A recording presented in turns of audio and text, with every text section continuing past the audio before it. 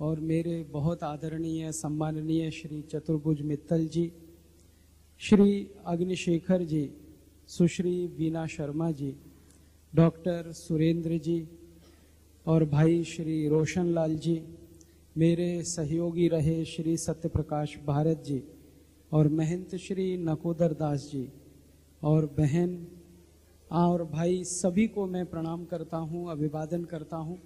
और इस बात के लिए क्षमा चाहता हूँ कि मैंने चलते हुए पंखे बंद कराए हैं, क्योंकि आपसे मुझे कुछ शांति से करनी है देश और समाज के बारे में। थोड़ी गर्मी हम सहन करें, क्योंकि इस देश की आज़ादी के लिए जिन्होंने कुर्बानी दी है, उन्होंने आपसे ज़्यादा गर्मियाँ सहन की हैं। मैं आज इस सभा के शुरुआत में सबसे पहले भारत देश के अमर शहीद श्री मदन लाल धींगरा जी को अपनी तरफ़ से, आप सभी की तरफ़ से श्रद्धांजलि अर्पित करता हूँ। ईश्वर से प्रार्थना करता हूँ कि जब जब भारत देश को ज़रूरत पड़े, ऐसे सैकड़ों, हज़ारों मदन लाल धींगरा इस देश में पैदा होते रहें और इस देश के सम्मान के लिए, इस देश की आज़ादी के लिए अपने आप को कुर्बानी देते रहे।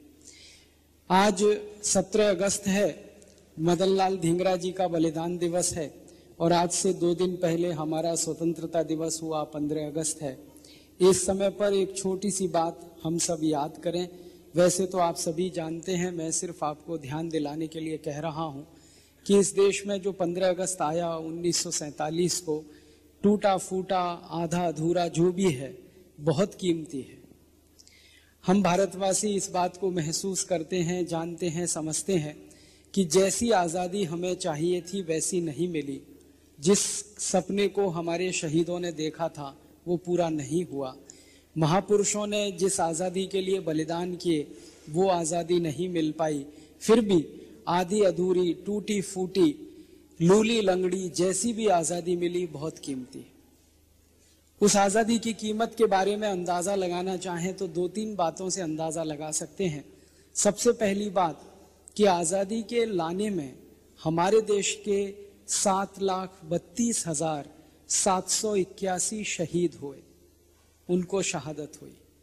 मदन लाल धींगरा उनमें से एक, ऊधम सिंह उनमें से एक, भगत सिंह उनमें से एक, लाला लाजपत राय उनमें से एक शचीन्द्रनाथ सान्याल उनमें से एक, मनमथनाथ गुप्त उनमें से एक, चंद्रशेखर आज़ाद उनमें से एक, झांसी की रानी लक्ष्मीबाई एक, रानी कित्तूर चनम्मा एक, रानी दुर्गावती एक ऐसे सात लाख बत्तीस हज़ार सात सौ इक्यासी क्रांतिवीरों के बलिदान के बाद ये आज़ादी आई। बहुत कीमती है। इतनी बड़ी कीमत आज़ादी के लिए दुनिया में किसी भी देश ने नहीं चुकाई जो हमने चुकाई। दुनिया में बहुत सारे देश गुलाम हुए हैं अलग अलग समय पर। जैसे भारत अंग्रेज़ों का गुलाम हुआ करीब ढाई सौ वर्षों तक। अफ्रीका अंग्रेज़ों का गुलाम हुआ साढ़े चार सौ वर्षों तक। अल्जीरिया, फ्रांस का गुलाम हुआ, करीब 300 वर्षों तक। अल्जीरिया के आसपास के जो छोटे यू, अफ्रीकी देश हैं, वो गुलाम हुए अलग अलग देशों में। एशिया के बहुत सारे देश, इंडोनेशिया, मलेशिया और हमारा पड़ोसी चीन भी गुलाम हुआ अंग्रेज़ों का। हमारा थोड़ा दूर का पड़ोसी जापान भी गुलाम हुआ अंग्रेज़ों का। हमारा दूर का पड़ोसी सिंगापुर भी गुलाम हुआ अंग्रेज़ों का। ऐसे दुनिया में पचास से ज़्यादा देश गुलाम हुए। कभी अंग्रेज़ों के, कभी फ्रांसीसियों के, कभी जर्मनी के, कभी किसी देश के, कभी किसी देश के। लेकिन किसी भी देश की आज़ादी के लिए, किसी भी देश की स्वतंत्रता के संग्राम के लिए इतनी कुर्बानियाँ नहीं देनी पड़ी जो भारत में हुई। अफ्रीका का इतिहास मैंने पढ़ा। अफ्रीका का साढ़े चार सौ साल का गुलामी का इतिहास है। और उससे आज़ादी की लड़ाई का उनका संघर्ष का इतिहास है। उस अफ्रीका में छप्पन हज़ार लोगों की कुल कुर्बानियाँ हुई और उसके बाद अफ्रीका आज़ाद हो गया। इंडोनेशिया, मलेशिया जैसे देश में 20 से पच्चीस हज़ार लोगों की कुर्बानियाँ हुई, दोनों देश आज़ाद हो गए। अल्जीरिया में अस्सी हज़ार लोगों की कुर्बानी हुई, अल्जीरिया आज़ाद हो गया। इसी तरह से यूरोप के छोटे देश, एशिया के कुछ बड़े देश लैटिन अमेरिका के कुछ बड़े देश अलग अलग समय पर गुलाम हुए। हर जगह शहीदों की शहादत भारत की संख्या में छोटी है, कम है। भारत के शहीदों की शहादत सभी देशों के आज़ादी के इतिहास में सबसे अधिक है। और हमारे देश में मदन लाल धींगरा या भगत सिंह या ऊधम सिंह या चंद्रशेखर जैसे शहीदों के बारे में और एक बात जाननी हो तो सबसे कम उम्र के सबसे ज़्यादा शहीद जो हुए हैं किसी देश में, वो भी भारत में ही। अंग्रेज़ों की फांसी के फंदे पर चढ़े ऐसे हमारे देश में सैकड़ों क्रांतिवीर थे जो अंग्रेज़ों की परिभाषा में नाबालिग थे। वो बालिग भी नहीं हुए थे। उनकी उम्र 18 साल भी पूरी नहीं हुई थी। ऐसे कई शहीदों को अंग्रेज़ों ने फांसी पर चढ़ा दिया। हमारे देश में अंग्रेज़ों की लाठियाँ खाकर, अंग्रेज़ों की गोलियाँ खाकर, अंग्रेज़ों की तोप के मुँह से जिनका शरीर बांधा गया और गोले मारकर जिनके चिथड़े कर दिए गए, ऐसे लोगों की संख्या को गिनना शुरू करेंगे तो वो लाखों से भी आगे करोड़ों में है। पिछले दस बारह वर्षों से या कहना चाहिए पंद्रह वर्षों से मेरे एक गुरु माननीय श्री धर्मपाल जी के साथ मिलकर अंग्रेज़ी दस्तावेजों का इतिहास का जो अध्ययन मैं कर रहा हूँ, अभी तो गुरु मेरे साथ नहीं है, लेकिन सूक्ष्म रूप में, भाव रूप में वो मेरे साथ अभी भी है। उस जानकारी के अनुसार सात लाख बत्तीस हज़ार सात सौ इक्यासी तो वो शहीद हैं जो फांसी पर चढ़ गए, लंदन की जेलों में या भारत की जेलों में। इसके अलावा अंग्रेज़ों की गोलियाँ खाकर जो शहीद हुए अंग्रेज़ों की लाठियाँ खाकर जो शहीद हुए, अंग्रेज़ों ने तोप के गोले से उनको बांधकर उड़ा दिया। अंग्रेज़ों ने भारत के हज़ारों, लाखों लोगों को भूख से मरने के लिए मजबूर कर दिया। ऐसे लोगों की संख्या साढ़े चार करोड़ है।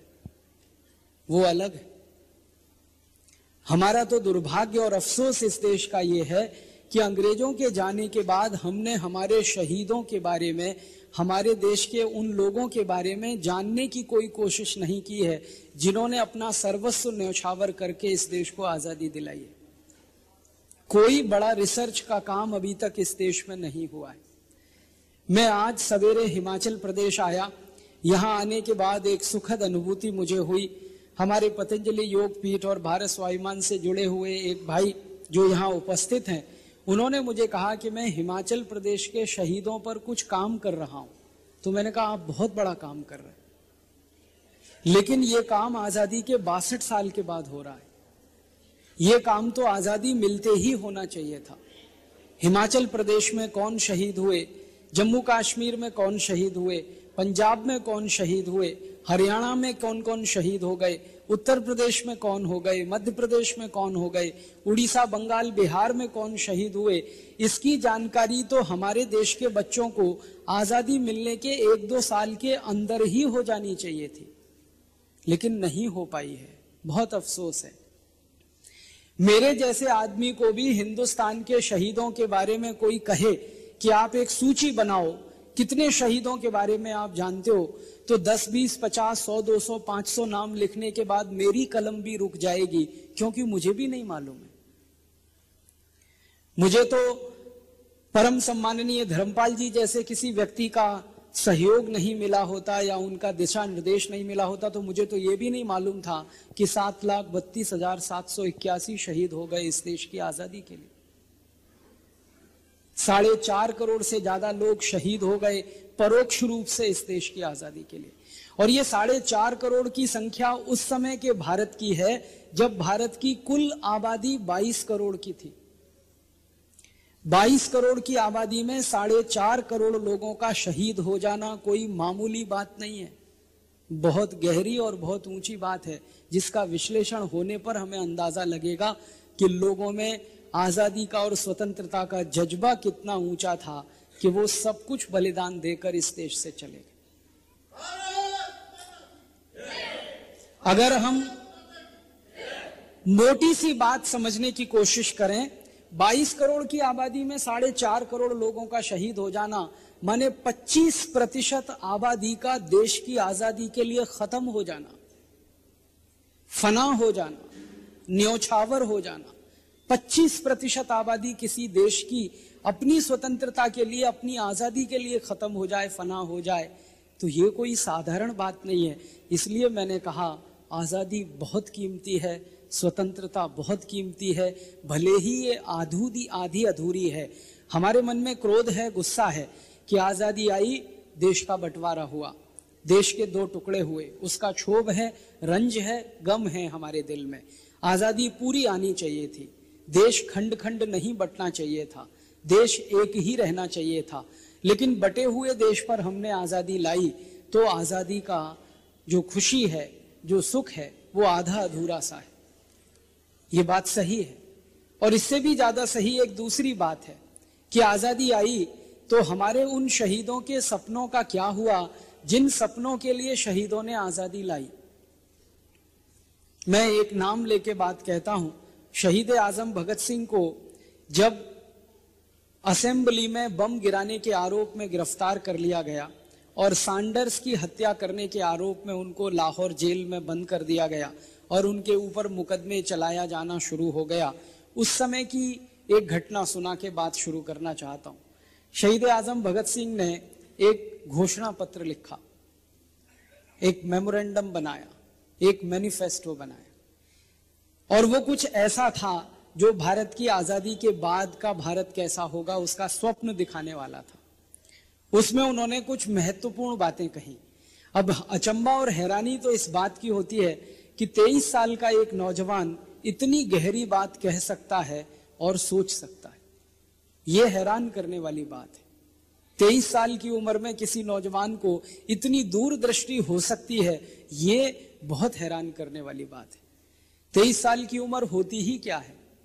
आज के समय में हम देखें हमारे देश के तेईस साल की उम्र के नौजवान लड़के लड़कियाँ क्या कर रहे हैं, क्या कह रहे हैं, क्या जी रहे हैं, क्या पी रहे हैं, क्या खा रहे हैं, किस दिशा में जा रहे हैं, उसकी तुलना करना शुरू करें तो बहुत हैरानी और अचंबा होता है कि शहीद आज़म भगत सिंह ने 23 साल की उम्र में क्या लिख दिया अपने घोषणा पत्र में।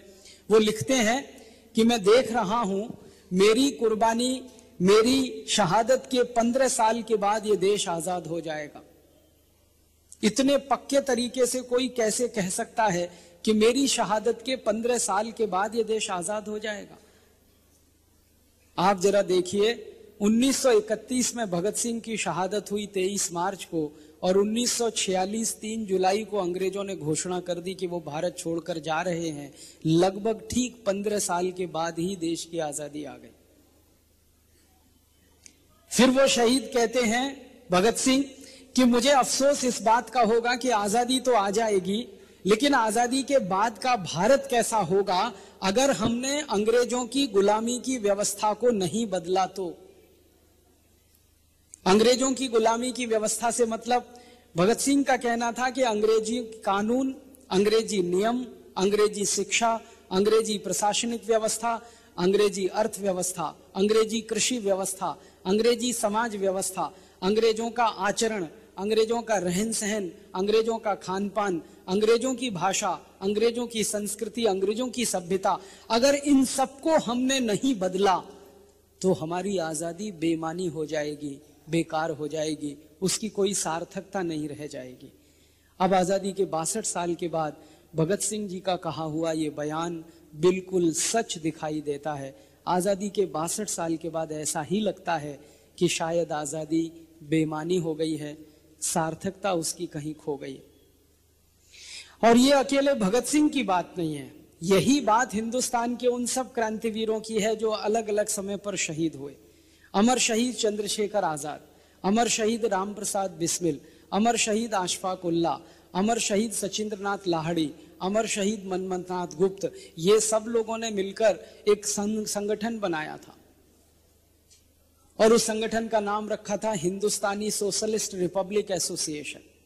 ये संगठन का गठन सन 1924 में हुआ था।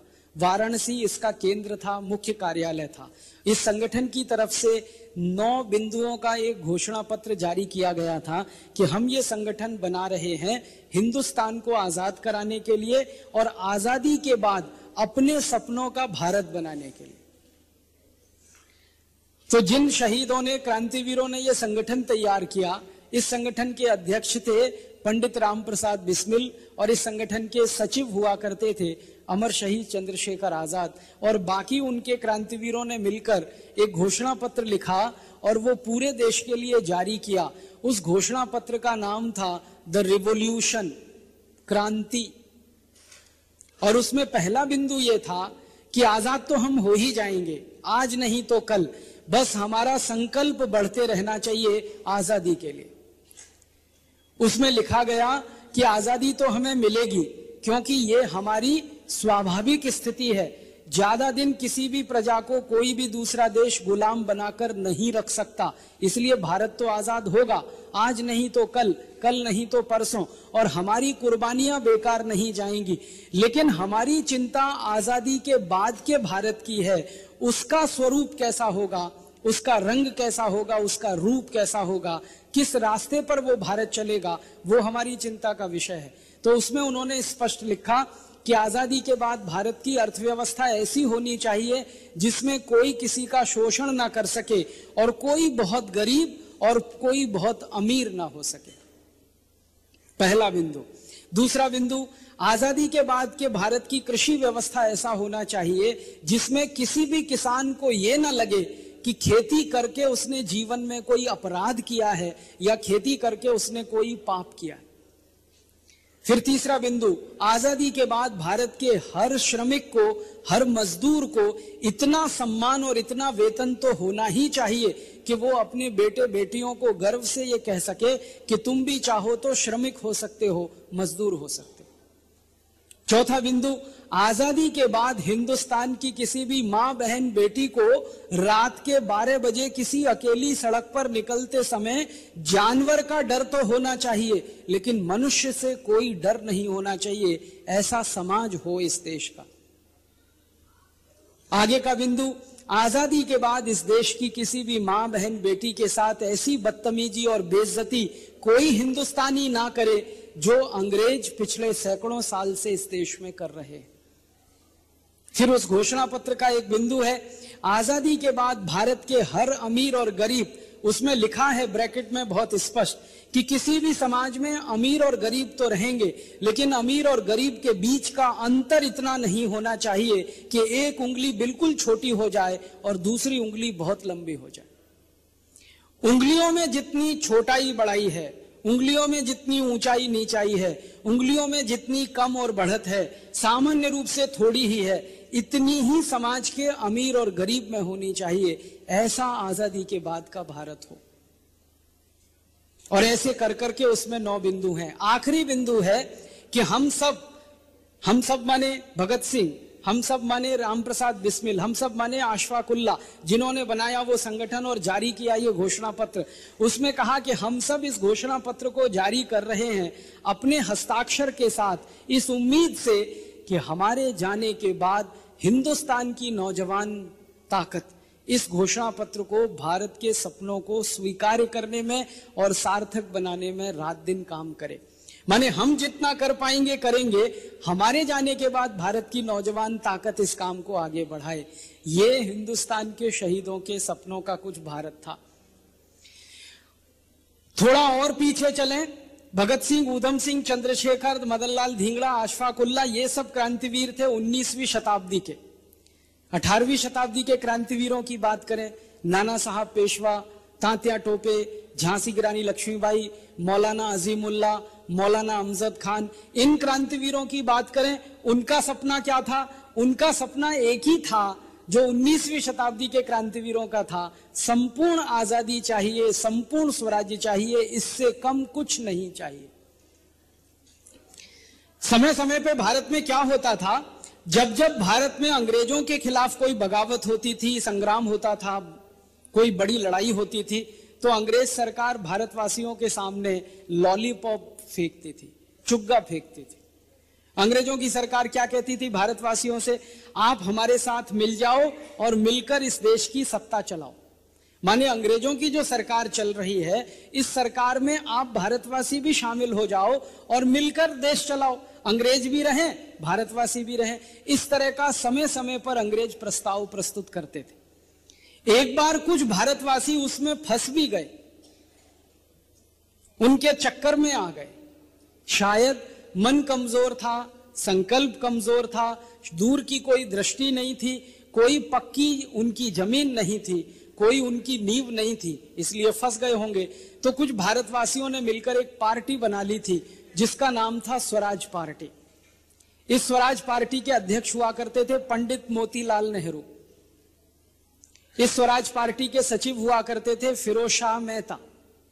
इस स्वराज पार्टी में शामिल हुआ करते थे सुरेंद्रनाथ बनर्जी। इस स्वराज पार्टी में शामिल हुआ करते थे सुरेंद्रनाथ सेन, जिनको हम भारत के इतिहास में नरम दल का नेता कहते हैं। वो नरम दल के ज़्यादातर नेता इस स्वराज पार्टी में थे। और इनका काम क्या था? अंग्रेज़ों से वार्ता कर लो, कोई समझौता हो जाए और अंग्रेज़ों के साथ हम भी सरकार में शामिल हो जाएँ। थोड़ा अंग्रेज़ लूटें, थोड़ा हम लूटें, काम इस तरह से चले। जैसे आज हमारे देश में कोलिशन गवर्नमेंट चलती है ना, सत्ता के लिए ये पार्टी भी, ये पार्टी भी, ये पार्टी भी सब मिलकर एक साथ हो जाए। थोड़ा तुम लूटो, थोड़ा हम लूटें, तुम्हारा पेट भरे, हमारा पेट भरे। तो ये कोलिशन गवर्नमेंट भारत में कोई नई चीज़ नहीं है। ये अंग्रेज़ों के जमाने का किस्सा है। स्वराज पार्टी भी ऐसा ही एक प्रयास था कि अंग्रेज़ों के साथ मिलकर कोलिशन में एक सरकार चलाई जाए। तो वो कोलिशन वाले लोग क्या कहते थे? भले आज़ादी मिले, ना मिले। भले स्वतंत्रता आए या ना आए, भले अंग्रेज़ चाहे भारत में रहें, चाहे तो लंदन चले जाएँ, हमको अंग्रेज़ों के साथ सत्ता में शामिल होकर वो सब मलाई चाटने को मिले जिसको अंग्रेज़ अकेले चाट रहे हैं। तो ये एक माहौल बनता था बीच बीच में। अंग्रेज़ इस तरह का पासा फेंकते थे, हिंदुस्तानी कुछ नेता उसमें फंसते थे। ऐसे समय पर भारत के क्रांतिवीर जिनके संकल्प ऊँचे थे जिनकी नींव बहुत मज़बूत थी, जिनके मन में बुलंदी बहुत ज़्यादा थी, वो कहा करते थे कि हमको ये कोलिशन की सत्ता नहीं चाहिए, संपूर्ण स्वराज्य चाहिए, पूरी आज़ादी चाहिए, जिसमें हम हमारे देश के मालिक होंगे, अंग्रेज़ों के साथ मिलकर सरकार चलाना और सत्ता की बंदर बांट करना, इसके लिए तो ये संग्राम नहीं है। तो नाना साहब पेशवा, तात्या टोपे, झांसी रानी लक्ष्मीबाई, रानी कित्तूर चनम्मा नाना फडनवीस वासुदेव बलवंत फड़के, ये सारे क्रांतिकारी अठारहवीं शताब्दी के, ये कहा करते थे, संपूर्ण आज़ादी चाहिए, संपूर्ण स्वराज्य चाहिए, संपूर्ण स्वतंत्रता चाहिए। इसके बाद के जो क्रांतिवीर निकले, लाला लाजपत राय, लोकमान्य बाल गंगाधर तिलक, विपिन चंद्र पाल, अरविंदो घोष, वो भी इसी धारा के थे कि संपूर्ण आज़ादी चाहिए, संपूर्ण स्वतंत्रता चाहिए। एक बार लाला लाजपत राय, लोकमान्य बाल गंगाधर तिलक और विपिन चंद्रपाल और अरविंदो घोष ये चारों मिलकर एक ही सभा में, एक ही मंच से भाषण दे रहे थे। सभा थी पुणे में। साल था सन 1905 और मामला था अंग्रेज़ों द्वारा बंगाल का बंटवारा। अंग्रेज़ों ने हिंदुस्तान का एक राज्य जिसका नाम था बंगाल, उसको दो हिस्सों में बांट दिया था, पूर्वी बंगाल पश्चिमी बंगाल। पूर्वी बंगाल मुसलमानों के लिए, पश्चिमी बंगाल हिंदुओं के लिए। हिंदू और मुसलमान के आधार पर भारत का बंटवारा हो, ये मोहम्मद अली जिन्ना का सपना नहीं था। ये अंग्रेज़ अधिकारी करजन का सपना था, जो 1905 में उसने क्रियान्वित कर दिया था। सैतालीस में जाकर भारत का बंटवारा हुआ, वो तो औपचारिकता थी। बीज तो 1905 में अंग्रेज़ों ने डाल दिया था। कि भारत का बंटवारा हिंदू और मुसलमान के आधार पर करना और अंग्रेज़ों ने यह क्यों किया था? क्योंकि 1905 के पहले हिंदू और मुसलमान पूरी ताकत से मिलकर अंग्रेज़ों के खिलाफ लड़ रहे थे। मैंने आपको बताया, एक तरफ़ नाना साहब पेशवा थे तो दूसरी तरफ़ अजीमुल्ला थे। एक तरफ़ तात्या टोपे थे तो अमजद खान थे। एक तरफ़ हमारे देश की झांसी रानी लक्ष्मीबाई थी तो दूसरी तरफ़ बेगम हज़रत महल थी। कोई कम मुसलमान इस देश की आज़ादी के लिए लड़े नहीं हैं। बहुत लड़े हैं और बहुत शहीद हुए तो ये हिंदू मुसलमान मिलकर लड़ रहे थे और अंग्रेज़ों को खतरा इसी बात से था कि अगर ये हिंदू मुसलमान इसी तरह से मिलकर लड़ते रहेंगे तो हमको तो आज नहीं, कल भागना ही पड़ेगा। तो अंग्रेज़ों ने एक सिद्धांत बनाया था, जिसको वो कहते थे doctrine for divide and rule बांटो और राज करो का सिद्धांत। उसमें उन्होंने हिंदू मुसलमानों का बंटवारा करने का तय किया था। हिंदू मुसलमानों के खिलाफ हो, मुसलमान हिंदुओं के खिलाफ हो तो अंग्रेज़ों ने पूरी एक टोली बनाई हुई थी, जिसमें अंग्रेज़ सैनिक रहा करते थे।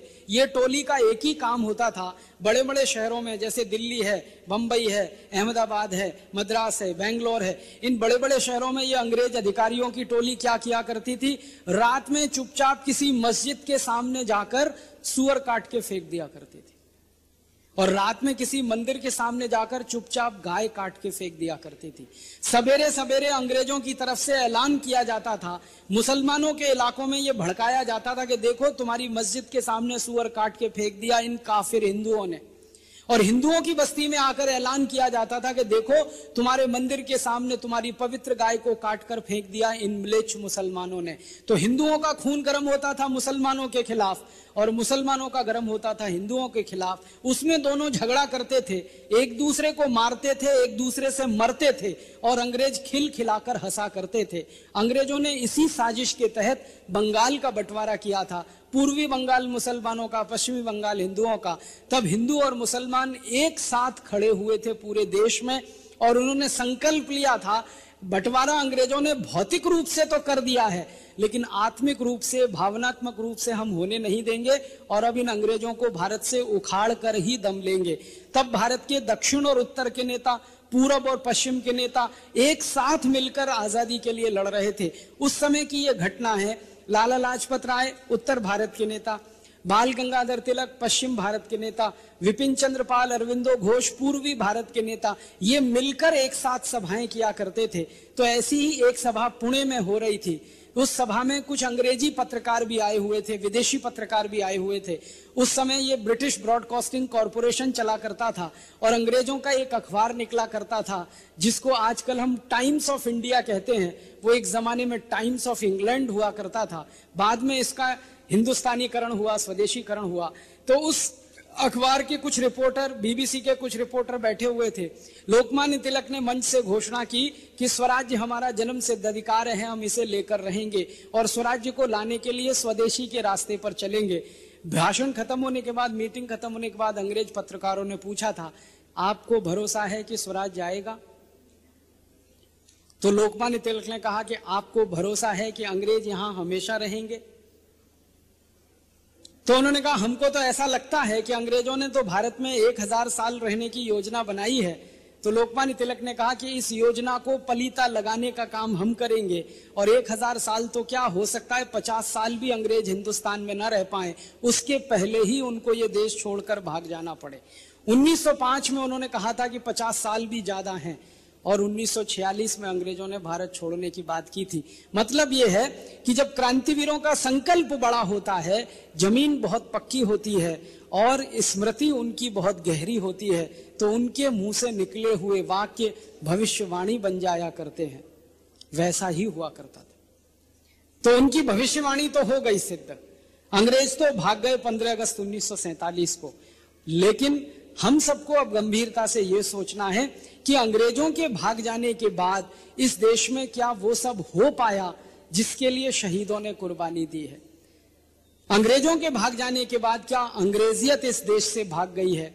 अंग्रेज़ों के भाग जाने के बाद क्या अंग्रेज़ी इस देश से भाग गई है? अंग्रेज़ों के जाने के बाद क्या व्यवस्था बदल गई है? जिस व्यवस्था के लिए हमारे शहीदों ने कुर्बानी दी है, या आज़ादी की लड़ाई लड़ी है? जब इस प्रश्न को हम गहराई से सोचते हैं तो उत्तर मिलता है नहीं। अंग्रेज़ तो चले गए हैं, अंग्रेज़ी नहीं गई है। अंग्रेज़ तो चले गए हैं, अंग्रेजियत नहीं गई है। अंग्रेज़ तो चले गए हैं, उनकी व्यवस्थाएँ नहीं गई हैं। अंग्रेज़ तो चले गए हैं, लेकिन अंग्रेज़ों की छोड़ी हुई निशानियों को हमने आज तक सहेज और संभाल कर रखा है। जैसे कि गुलामी की निशानियों को कोई देश ज़िंदा नहीं रखता, लेकिन हमने रखा।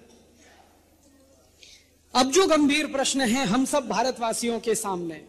मदनलाल धींगरा, आशफा कुल्ला, भगत सिंह, उधम सिंह, चंद्रशेखर, ऐसे ऐसे शहीदों की सारी कुर्बानी देने के बाद अब हमारे सामने गंभीर प्रश्न है वो ये कि इन सब कुर्बानी देने वाले के शहीदों का आज़ादी के बाद का जो सपना था, वो पूरा नहीं हो पाया है तो उसके लिए हम क्या करें? मैं एक दो उदाहरण से बात कर थी कि जो भी कुछ करो, कानून बनाकर करो। अत्याचार करना है तो कानून बना दो। जेब काटनी है तो कानून बना दो। लूटना है भारतवासियों को तो कानून बना दो। बर्बादी करनी है भारत की तो कानून बना दो। बेइज्जती करनी है भारत की तो कानून बना दो। वो सब काम कानून बनाकर किया करते थे और इसको अंग्रेज़ी भाषा में कहा जाता था रूल ऑफ़ द लॉ कानून का शासन। अंग्रेज़ सारी दुनिया के सामने ये प्रस्तुत किया करते थे कि हम तो भारत में कानून का शासन चला रहे हैं। अब उस शासन में अत्याचार होता है तो ये भारतवासियों का नसीब है, हम क्या करें? लेकिन दुनिया को ये बात समझ में बहुत देर में आई कि जब कानून आप गलत बनाएँगे, उल्टे बनाएँगे तो उन कानूनों से अत्याचार ही होगा और उन कानूनों के आधार पर बर्बादी ही होगी। कोई उसमें से सुखद और सुखी देश की निर्माण व्यवस्था संभव नहीं। एक उदाहरण से बताता हूँ। अंग्रेज़ों ने भारतवासियों पर अत्याचार करने का एक कानून बनाया, जिसका नाम है इंडियन पुलिस एक्ट। नाम था नहीं कह रहा हूँ, नाम है। क्यों? क्योंकि ये इंडियन पुलिस एक्ट अंग्रेज़ों ने तो बनाया था 1860 में, लेकिन दुर्भाग्य से इस देश की आज़ादी के बासठ साल के बाद भी ये चल रहा है, इंडियन पुलिस एक्ट। ये कानून बनाया गया 1860 में। 1860 कब आया? अठारह के बाद, और अठारह में क्या हुआ? अंग्रेज़ों के खिलाफ बगावत। इस देश में नाना साहब, पेशवा, तांतिया, टोपे, झांसी रानी, लक्ष्मीबाई, अजीमुल्ला जैसे क्रांतिवीरों की मदद से सारे देश में अंग्रेज़ों के खिलाफ बगावत हुई थी। और उस बगावत में एक बात जो हम जानते नहीं है, वो ये कि इस बगावत में तीन महीने के अंदर अंग्रेज़ पूरी तरह से हार गए थे, परास्त हो गए थे। बगावत शुरू हुई थी 10 मई अठारह सौ सत्तावन से और शुरुआत हुई थी मेरठ से। आप सभी जानते हैं, पश्चिमी उत्तर प्रदेश का एक शहर है मेरठ। वहाँ के कुछ क्रांतिवीरों ने शाम को पाँच बजे दस मई अठारह सौ सत्तावन को अंग्रेज़ों के बंगले जला दिए थे, घर जला दिए और उन घरों में रहने वाले अंग्रेज़ जब घर से निकलकर भागे तो मेरठ शहर के नागरिकों ने उनके गर्दन काट दिए थे, सिर काट दिए थे। चाकू घोंप दिया था, हसीिए से गर्दन काट दिया था। और एक ही रात में मेरठ में एक अंग्रेज़ों का कत्लेआम हो गया था। एक भी अंग्रेज़ मेरठ में ज़िंदा नहीं बचा था। ऐसे शुरू हुई थी क्रांति। अगले दिन ये क्रांति दिल्ली पहुँच गई, फिर उसके अगले दिन बरेली पहुँच गई, फिर उसके अगले दिन शाहजहांपुर पहुँच गई और लगभग महीने भर के अंदर साढ़े तीन सौ भारत के स्थान अंग्रेज़ों की गुलामी से आज़ाद हो गए तीन लाख चौसठ हज़ार से ज़्यादा अंग्रेज़ों को भारतवासियों ने गाजर मूल्य की तरह से काट दिया था। आपके मन में सवाल आएगा कि भारतवासी तो अहिंसक हैं, भारतवासी तो दया, प्रेम, करुणा की बात करने वाले हैं। उनके मन में इतनी क्रूरता और इतना पराक्रम कहाँ से पैदा हो गया कि अंग्रेज़ों को गाजर मूली की तरह से काट दिया? हमारे यहाँ एक बात कही जाती है, वो ये कि पानी जब सिर से गुजर जाता है तो सारे लोक लाज छोड़ देने पड़ते। हमारे देश में भी ऐसा ही हुआ था। पानी हमारे सिर से गुजर गया था तो भारत के लोगों ने अपनी लोक लाज और परंपरा को ताक पर उठाकर रख दिया था। पानी सिर से कैसे गुजर गया था? सौ साल तक अंग्रेज़ों का अत्याचार सहन किया भारतवासियों ने, सत्रह से अठारह तक। उस अत्याचार में सबसे बड़ा अत्याचार था इस देश की लूट। इतना लूटा था अंग्रेज़ों ने सौ साल में, दुनिया के किसी देश के इतिहास में उसकी मिसाल नहीं मिलती। एक ही उदाहरण से बात कहता हूँ, सत्रह में एक अंग्रेज़ लुटेरा इस देश में आया। पंखा बंद कर दीजिए। और आप शांति से बैठ जाइए, आना जाना मत करिए। सत्रह में इस देश में एक अंग्रेज़ लुटेरा आया, उसका नाम था Robert Clive. East India Company का कमांडर इन चीफ बन के आया। ब्रिटिश पार्लियामेंट ने उसको लेटर ऑफ़ अथॉरिटी दिया और उसको कहा कि तुम भारत में जाओ और जिस जिस स्थान पर संभव है ईस्ट इंडिया कंपनी की सरकार बनाओ। तो रॉबर्ट क्लाइव ने ब्रिटिश पार्लियामेंट को कहा कि अगर भारत में जाकर ईस्ट इंडिया कंपनी की सरकार बनानी है तो मुझे सैनिक चाहिए और मुझे लाखों की संख्या में सैनिक चाहिए। ब्रिटिश पार्लियामेंट ने कहा कि लाखों की संख्या में तो सैनिक हम दे नहीं सकते, क्योंकि इस समय हमारे पास ज़्यादा सैनिक नहीं है। क्यों? उसी समय इंग्लैंड फ्रांस के खिलाफ युद्ध लड़ रहा था। और फ्रांसीसी युद्ध में अंग्रेज़ों की बहुत बड़ी फौज लगी हुई थी। तो ज़्यादा सैनिक उनके पास थे नहीं। साढ़े तीन सौ सैनिकों को लेकर रॉबर्ट क्लाइव कलकत्ता पहुँचा और उसने ईस्ट इंडिया कंपनी का शासन बंगाल में स्थापित करने का सपना देखा। अब आप सोचिए, बंगाल में जहाँ भारत का राजा था सिराजुद्दौला जिसके पास सैनिकों की, पैदल सैनिकों की संख्या अठारह हज़ार थी, जिसके पास हाथी, घोड़े जो सैनिक वाले होते हैं, वो साढ़े सात, आठ हज़ार से ज़्यादा थे।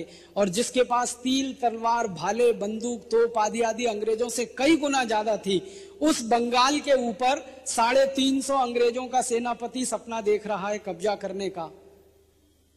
तो वो तो संभव नहीं था। रॉबर्ट क्लाइव को मालूम था कि यहाँ तो मैं सफल हो नहीं पाऊँगा। तो क्या करना चाहिए? उसने एक युक्ति निकाली, एक चालाकी खेली, बस उसी चालाकी में हम पिट गए और अंग्रेज़ों के गुलाम हो गए। वो चालाकी क्या थी? रॉबर्ट क्लाइव को मालूम था, आमने सामने लड़ेंगे तो जीत नहीं पाएँगे। 20 मिनट में युद्ध खत्म हो जाएगा। अट्ठारह हज़ार की सेना साढ़े तीन सौ सैनिकों को खत्म कर देगी। तो उसने युद्ध ना लड़के एक दूसरा काम किया। उसने अपना एक दूत सिराजुद्दौला की सेना में भेजा ये पता लगाने के लिए कि जानकारी करो कि कौन भारत से गद्दारी कर सकता है। कौन भारत को धोखा दे सकता है?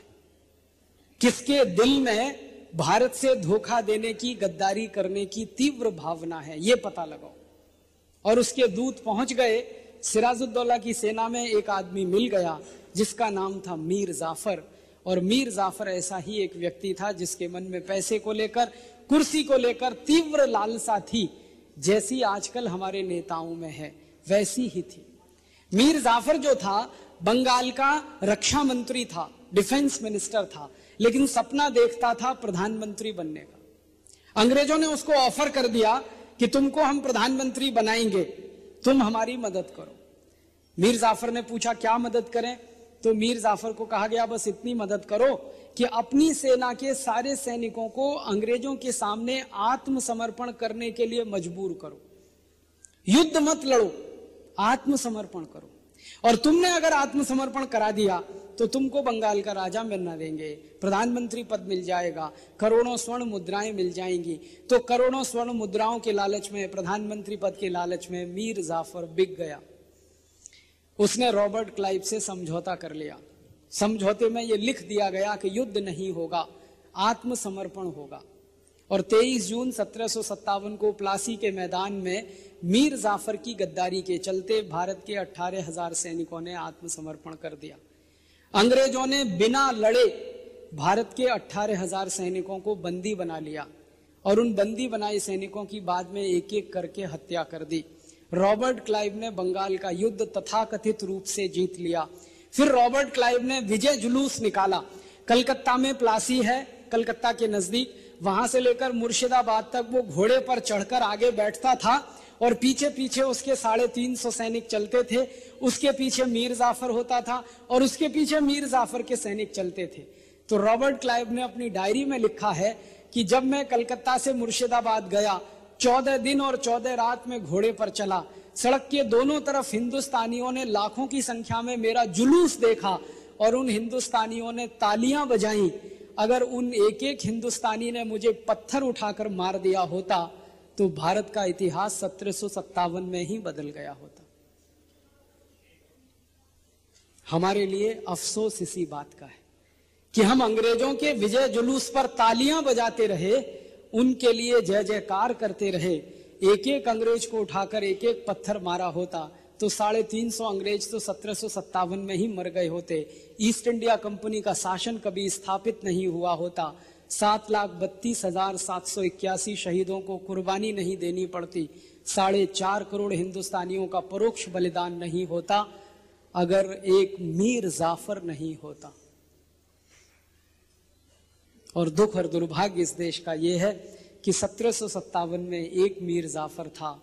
अब 2009 में तो मीर जाफ़र ही मीर जाफ़र हैं, जो कुर्सी और पैसे के लिए इस देश के किसी भी स्तर का समझौता कर रहे हैं।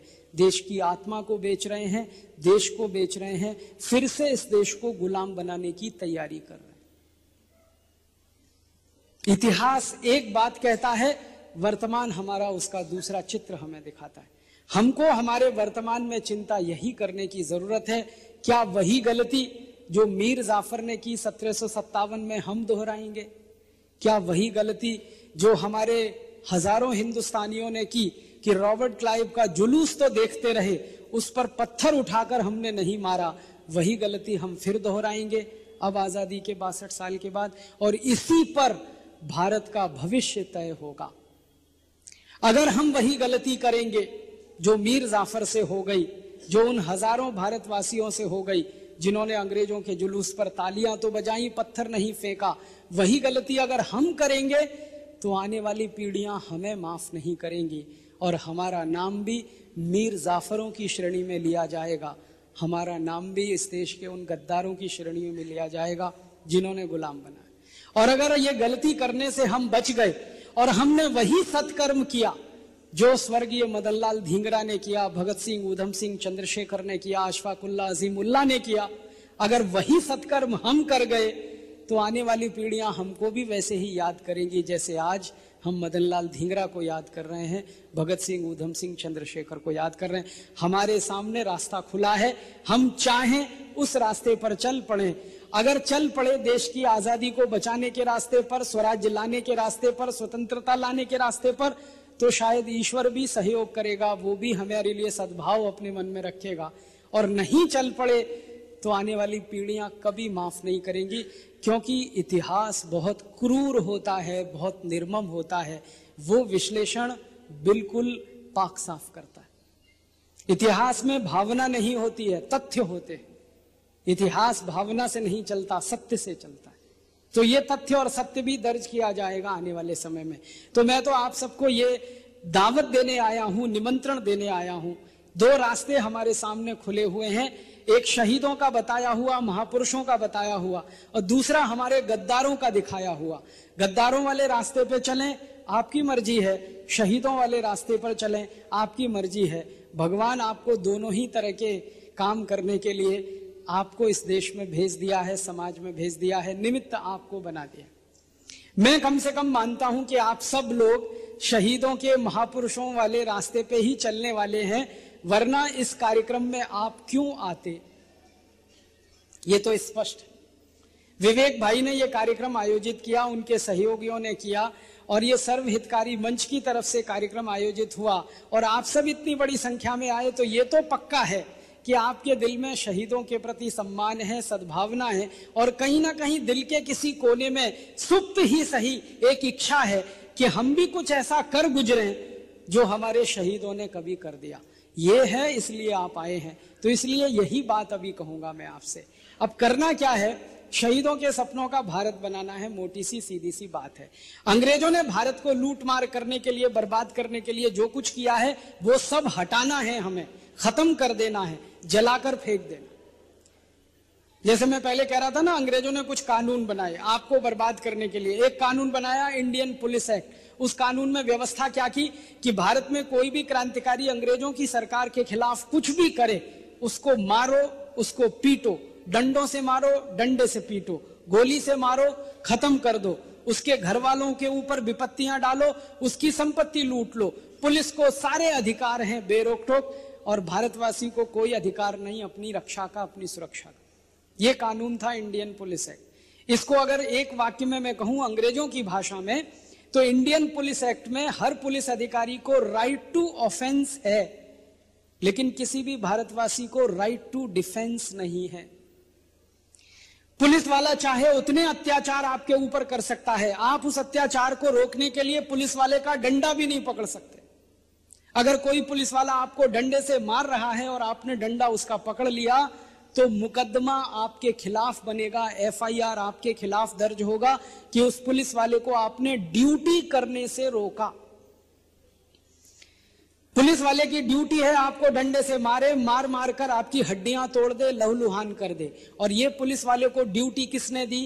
इंडियन पुलिस एक्ट ने। और ये कानून किसने बनाया? अंग्रेज़ों की संसद ने। कब? 1860 में। क्यों?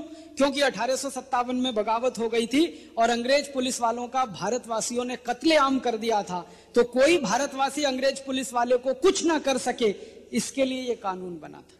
अब 1860 में यह कानून बना। इसके दुष्परिणाम भयंकर हुए। अंग्रेज़ों की पुलिस ने लाठियाँ जो चलाना शुरू किया इस कानून बनने के बाद, उसमें सैकड़ों हज़ारों क्रांतिवीरों की इस देश में शहादत हुई। एक का नाम बताना चाहूँगा। लाला लाजपत राय। आप जानते हैं, इसी पुलिस कानून के चलते लाला लाजपत राय की मृत्यु हुई थी। लाला लाजपत राय और उनके सहयोगियों ने अंग्रेज़ी कानून का विरोध करने के लिए एक जुलूस निकाला था लाहौर में। कानून था रॉलेट एक्ट, और उस कानून में भारत के सभी नागरिकों के प्राथमिक अधिकार, वैयक्तिक अधिकार, फंडामेंटल राइट्स खत्म हो गए थे। तो उसका विरोध करने के लिए जुलूस निकाला। उस जुलूस पर अंग्रेज़ अधिकारी सांडर्स ने लाठियाँ बरसाई थी और सांडर्स की लाठियाँ लाला लाजपत राय के सिरमर इतनी गहरी लगी थी कि लाला जी को ब्रेन हेमरेज हुआ था और अस्पताल में उनकी मृत्यु हुई थी। तब शहीद आज़म भगत सिंह ने कसम खाई थी कि अगर हमें न्याय नहीं मिला, माने लाला लाजपत राय की हत्या करने वाले अंग्रेज़ अधिकारी सांडर्स को कड़ा दंड नहीं दिया गया तो हम मानेंगे हमें न्याय नहीं मिला और वो न्याय फिर हम अपने हाथ में लेंगे और सैंडर्स को उसकी गति तक पहुंचाएँगे। अंग्रेज़ सरकार ने सांडर्स का कुछ नहीं किया। तब भगत सिंह को और उनके सहयोगियों को योजना बनाकर सांडर्स का वध करना पड़ा, गोली मारनी पड़ी और उस गोली मारने के जुर्म में भगत सिंह को फांसी की सजा हुई। तो भगत सिंह ने कहा था कि ये सजा मुझे मंजूर है। क्योंकि लाला जी पर पड़ी एक एक लाठी का बदला लेने के लिए मैंने ये काम किया था।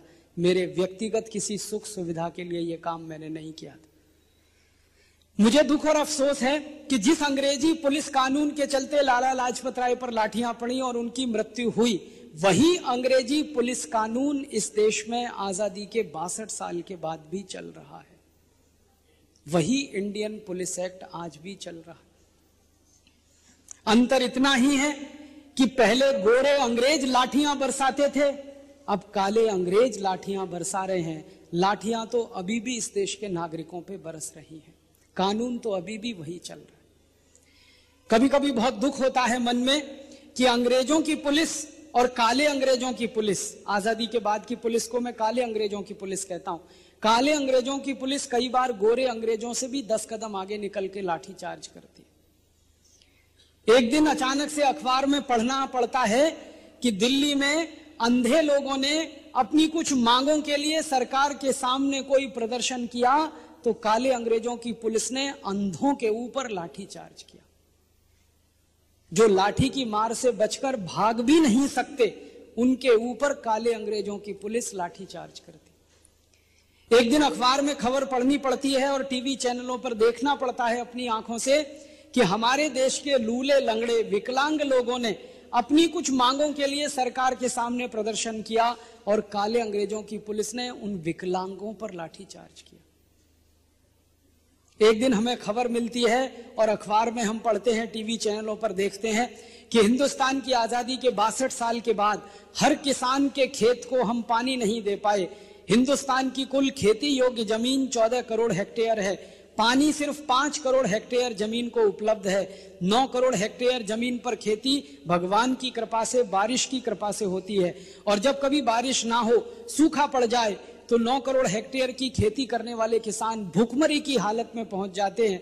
वो भूखमरी की हालत में पहुँचे हुए किसान जब अपने खेत के लिए पानी मांगने का कोई आंदोलन करते हैं तो काले अंग्रेज़ों की पुलिस उन पर गोलियाँ चलाती है और किसानों को वैसे ही मर जाना पड़ता है। जैसे शहीदों को अंग्रेज़ों की पुलिस के सामने मर जाना पड़ता था। आप सब अगर नियमित रूप से अखबार पढ़ते होंगे, समाचार पढ़ते होंगे तो आपको थोड़े दिन पहले याद होगा, राजस्थान में किसानों ने अपने खेत में पानी की मांग के लिए एक काली अंग्रेज़ सरकार के सामने प्रदर्शन किया। दुख और दुर्भाग्य है कि वो काली अंग्रेज़ों की सरकार भारतीय जनता पार्टी की सरकार थी, जिसने किसानों के ऊपर गोली चलाने का आदेश दिया। सत्रह किसानों की तुरंत मौत हुई। और उस गोली चलाने का आदेश देने वाली मुख्यमंत्री वसुंधरा राजे सिंधिया को अब राजस्थान के किसानों ने ऐसा सबक सिखाया कि राजस्थान से बीजेपी का पत्ता साफ़ हो गया। लेकिन मुझे जो कहना है वो ये कि सरकार कांग्रेस की हो या बीजेपी की, जनता दल की हो या सीपीएम की, सीपीआई की हो या मार्क्सवादी सीपीआई की, सिंगूर में आप जानते हैं सीपीआई और सीपीएम की सरकार ने किसानों के ऊपर जो गोलीबार किया 21 किसान उसमें मर गए। क्या अपराध था उन किसानों का? अपनी ज़मीन बचाने की लड़ाई लड़ रहे थे, अपने खेत बचाने की लड़ाई लड़ रहे थे। तो आज़ादी के बासठ साल में अपनी ज़मीन बचाना, अपना खेत बचाना अगर हमारा अधिकार नहीं बनता तो बासठ साल की इस आज़ादी का क्या करें? आज़ादी सिर्फ़ तिरंगा झंडा फहराने का नाम नहीं होती है और आज़ादी सिर्फ़ जनगणमन गाने का नाम नहीं होती है। आज़ादी सिर्फ़ 15 अगस्त मनाने का नाम नहीं होती है। आज़ादी उससे ज़्यादा बड़ी और गहरी कोई चीज़ होती है। मुझे अपने आप से ये सवाल पूछने के लिए तकलीफ़ होती है कि अगर अंग्रेज़ों के ज़माने में हमारे किसान अपने खेत बचाने की लड़ाई लड़ते थे, और एक अंग्रेज़ सरकार जिसका नाम था डलहौजी, जिसने एक कानून बनाया था, लैंड एक्विजिशन एक्ट ज़मीन को अधिग्रहण करने का कानून। उस कानून की ताकत पर अगर डलहौजी लाखों किसानों की जमीनें छीनता था और वो किसान संघर्ष करते थे, और उस समय हमारे शहीदों का सपना ये था कि कल को ये डलहौजी चला जाएगा, आज़ादी आ जाएगी, फिर नई सरकार बनेगी, भारतवासियों की सरकार बनेगी, और डलहौजी का बनाया काला कानून इस देश से खत्म हो जाएगा। अब उन क्रांतिकारियों की आत्मा को हम क्या जवाब दें कि डलहौजी तो मर गया, अंग्रेज़ भी चले गए, लेकिन उनका बनाया हुआ लैंड एक्विजिशन एक्ट इस देश में आज भी चल रहा है और हज़ारों किसानों की लाखों एकड़ ज़मीन को निगल रहा है। और वो किसान अपनी ज़मीन बचाने के लिए अगर संघर्ष पर उतरते हैं तो काले अंग्रेज़ों की पुलिस गोलियाँ चलाकर उनको मार डालती है। आज़ादी में और गुलामी में अंतर क्या रह गया? मुझे तो यही दिखाई देता है कि ये BJP, Congress, Janata Dal, CPM, CPI, मार्क्सवादी पार्टी हो या कम्युनिस्ट पार्टी, ये सब सत्ता व्यवस्था के खेल में लड़ने वाली पार्टियों के चेहरे सब एक ही हैं। चरित्र भी सब एक ही हैं। नाम बस अलग अलग है। और आपको और मुझको मूर्ख बनाने के लिए घोषणा पत्र का, कवर का रंग अलग अलग है। अंदर सब कुछ एक ही लिखा हुआ है और अंदर सब एक ही तरीके से काम करते इसलिए दिल में दर्द होता है। ये कहते हुए मुझे खुशी नहीं होती कि ये काले अंग्रेज़ों की सरकारें हैं। ये दर्द का भाव है, जो आज़ादी के बासठ साल के बाद कहना पड़ता है कि गोरे अंग्रेज़ों की सरकारें, काले अंग्रेज़ों की सरकारें लगभग एक ही जैसी है। पुलिस का कानून वही है, ज़मीन छीनने का कानून वही है, कलेक्टर होने का कानून वही है, जो अंग्रेज़ों के जमाने में था। एक इंडियन सिविल सर्विसेज़ एक्ट बनाया अंग्रेज़ों ने। उसमें कलेक्टर नाम का एक अधिकारी तय कर दिया। वो अधिकारी का काम था कि किसानों से लगान वसूल करना, व्यापारियों से, उद्योगपतियों से टैक्स इकट्ठा करना, अंग्रेज़ों की सरकार को जमा करना। कलेक्ट करने के लिए कलेक्टर होता था। टैक्स कलेक्शन के लिए कलेक्टर होता था। तो जिस आधार पर कलेक्टर नियुक्त किया जाता था, जो कानून उसके लिए बनाया जाता था इंडियन सिविल सर्विसेज़ एक्ट वो कानून तो आज़ादी के बासठ साल के बाद भी चल रहा है। बस अंतर इतना ही है कि पहले उसमें इंडियन सिविल सर्विसेज़ एक्ट होता था, अब इंडियन एडमिनिस्ट्रेटिव एक्ट हो गया है। कलेक्टर नाम की पोस्ट जो अंग्रेज़ों के जमाने में थी, वो आज़ादी के बासठ साल के बाद भी है। कहीं कहीं उसका नाम बदल गया है। कहीं उसे डिप्टी कमिश्नर कह देते हैं, कहीं उसको डिस्ट्रिक्ट मजिस्ट्रेट कह देते हैं, लेकिन अधिकार उसके सब वही हैं जो अंग्रेज़ों के जमाने में कलेक्टर के हुआ करते थे। अंग्रेज़ों ने एक कानून बनाया हिंदुस्तान में न्याय देने के लिए। दुर्भाग्य से वो कानून सिद्ध हुआ अन्याय करने वाला। उसका नाम है आईपीसी इंडियन पीनल कोड एक बना दिया, उसका नाम है सीआरपीसी क्रिमिनल प्रोसीजर कोड एक बना दिया, उसका नाम है सीपीसी सिविल प्रोसीजर कोड ये तीनों कानून की ड्राफ्टिंग करने वाला एक अंग्रेज़ था, जिसका नाम था टीवी मैकॉले जिसने भारतीय शिक्षण पद्धति का नाश करके अंग्रेज़ी शिक्षा इस देश में लागू कराई। मैकॉले ने ब्रिटिश पार्लियामेंट में खड़े होकर एक दिन भाषण दिया था। 2 फरवरी 1835 को मैकोले ब्रिटिश पार्लियामेंट में भाषण दे रहा है और क्या कह रहा है? वो कह रहा है I have seen length and breadth of this country India मैंने भारत का उत्तर से दक्षिण, पूरब से पश्चिम सारा कुछ देखा है। And I have never seen a beggar in this country India मैंने आज तक अपने जीवन में एक भी भिखारी नहीं देखा है जो भारत की सड़क पर भीख माँगता हो। फिर आगे कहता है I have never seen a unemployed youth in this country India मैंने एक भी बेरोजगार नौजवान इस भारत में नहीं देखा है। फिर आगे कहता है such wealth and high moral values I have seen in this country that we can not conquer this country India वो कहता है कि इस भारत में इतनी संपत्ति है, इतना धन है, इतना पैसा है और लोगों की मॉरल वैल्यू माने नैतिक शक्ति इतनी ऊँची है कि इस भारत को हम कभी भी ज़िंदगी में गुलाम नहीं बना सकते। फिर अंत में कहता है अंटिल एंड अनलेस जब तक जब तक माने तब तक, जब तक कि हम भारत के लोगों की रीढ़ की हड्डी ना तोड़ दें। जब उसने ये शब्द इस्तेमाल किया, रीढ़ की हड्डी ना तोड़ दें तो कुछ एमपीज खड़े हो गए ब्रिटिश पार्लियामेंट में और उसको पूछने लगे, क्या मतलब है रीढ़ की हड्डी तोड़ने से? तो वो कहता है, भारत के रीढ़ की हड्डी है, कुछ चीज़ें। जब तक हम इनको नहीं तोड़ेंगे, भारतवासी गुलाम नहीं होंगे। तो पहली रीढ़ की हड्डी क्या है? वो कहता है, भारत की शिक्षा व्यवस्था। ये शिक्षा व्यवस्था भारत में इतनी मज़बूत है कि भारतवासी गुलाम ही नहीं हो सकते किसी के। तो भारतीय शिक्षा को खत्म करना पड़ेगा। दूसरी रीढ़ की हड्डी है भारत की अर्थव्यवस्था। फिर तीसरी रीढ़ की हड्डी है भारत की न्याय व्यवस्था। चौथी रीढ़ की हड्डी है भारत की चिकित्सा व्यवस्था। पांचवी रीढ़ की हड्डी है भारत की सामाजिक परंपराएँ और मान्यताएँ। छठवीं रीढ़ की हड्डी है भारत की संस्कृति और सभ्यता। और वो छह रीढ़ की हड्डी गिनाता है और कहता है, इनको एक एक करके हम जब तोड़ेंगे, तभी भारत गुलाम बनेगा। ब्रिटिश प्राइम मिनिस्टर मैकोले को पूछता है, कैसे तोड़ोगे?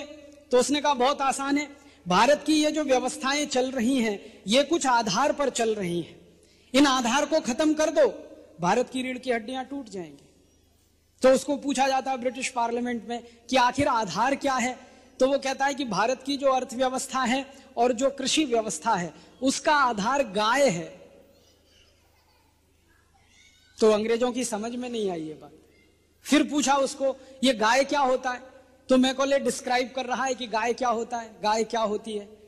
वो डिटेल डिस्क्रिप्शन करता है, साढ़े तीन घंटे बताता है गाय क्या होती है, गाय क्या देती है, उससे भारत में क्या होता है, उसका गोबर है, उसका मूत्र है, उसका दूध है, वगैरह वगैरह। और इससे भारत की सारे सिस्टम की व्यवस्थाओं को चलाने में मदद मिलती है। जब वो डिटेल डिस्क्राइब करता, तब अंग्रेज़ों के समझ में आता अच्छा गाय इतनी महत्वपूर्ण है तो गाय को ही कटवाना शुरू करो भारत में। तो वो कहता है इसके लिए कानून बनाना पड़ेगा। तो अंग्रेज़ सरकार कहती है, कानून बनाओ और लागू करो और भारत की गाय काटना शुरू करो। तो अंग्रेज़ों ने कानून बना दिया इस देश में। और रॉबर्ट क्लाइव के, सॉरी, मैकॉले के कहने पर इस देश में गाय के कत्ल का जो कानून बना, वो आज़ादी के बासठ साल के बाद भी चल रहा है। बस अंतर इतना था कि अंग्रेज़ों के जमाने में जब गाय कटती थी, जब अंग्रेज़ों का पूरा शासन इस देश में स्थापित हो गया था तब वो एक दिन में तीस हज़ार गाय काटते थे और उनके साढ़े तीन सौ कतल खाने चलते थे। अब आज़ादी के बासठ साल के बाद इस देश में छत्तीस हज़ार कत्ल खाने चलते हैं और साल की साढ़े चार करोड़ गाय कट जाती है। हम आज़ादी मनाते हैं, पंद्रह अगस्त गाते हैं, स्वतंत्रता का जयकारा लगाते हैं, भारत माता का भी जयकारा लगाते हैं, लेकिन भारत माता का प्राण गाय हर दिन कटती है, सिसकती है, अपने प्राणों की रक्षा के लिए अपने प्राणों की भीख के लिए। साढ़े चार करोड़ गाय जिस देश में हर साल कटती हो, हज़ारों लाखों गाय के बछड़े इस देश में कटते हों, नंदी कटते हों, बैल कटते हों, उनका मांस बाज़ार में बिकता हो, उसका एक्सपोर्ट किया जाता हो, उससे विदेशी मुद्रा कमाई जाती हो, और हम ये गाना गाएँ कि भारत में आज़ादी मनाओ, स्वतंत्रता मनाओ, पंद्रह अगस्त मनाओ, ये तो झूठ है, पाखंड है। क्योंकि हम इस बात को नहीं भूल सकते कि इस देश की आज़ादी की कहानी जिन्होंने अपने खून से लिखी है, उनमें से आदि क्रांतिवीर मंगल पांडे ने गाय को बचाने के लिए अपना बलिदान किया था। आज़ादी तो उसमें जुड़ गई थी। आपको मालूम है, अठारह सौ सत्तावन की आज़ादी की क्रांति जो मेरठ में 10 मई से शुरू हुई थी, वो बैरकपुर, बंगाल की छावनी में तो 28 अप्रैल से ही शुरू हो गई जब मंगल पांडे ने गाय की चर्बी लगे हुए कारतूस को मुँह से खोलने से मना कर दिया था और एक अंग्रेज़ अधिकारी ने आदेश दिया था तो मंगल पांडे ने उस अंग्रेज़ अधिकारी को गोली से मार दिया था, मेजर ह्यूसन को, और उसके बाद दूसरे अधिकारी को मार दिया था। फिर मंगल पांडे को फांसी हुई थी। तो फांसी पर लटकाए जाने के वक्त मंगल पांडे के मुँह से जो आखिरी शब्द निकले थे, वो यही थे, भारत माता की जय हो, गौ माता की जय हो, अंग्रेज़ों का नाश हो अंग्रेज़ों की शासन व्यवस्था का खात्मा हो, क्योंकि गाय काटते हैं अंग्रेज़। तो गाय काटने के सवाल से शुरू हुआ था इस देश की आज़ादी का संघर्ष। अब आज़ादी के बासठ साल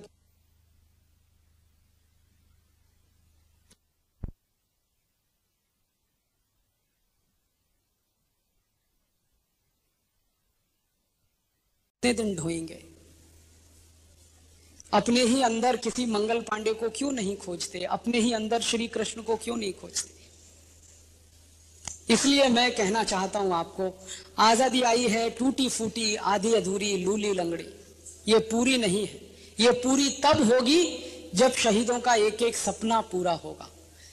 अगर मंगल पांडे का सपना था कि गाय की रक्षा हो तो आज़ादी के बासठ साल बाद होनी ही चाहिए। नहीं तो मंगल पांडे की फांसी अधूरी है, शहादत अधूरी।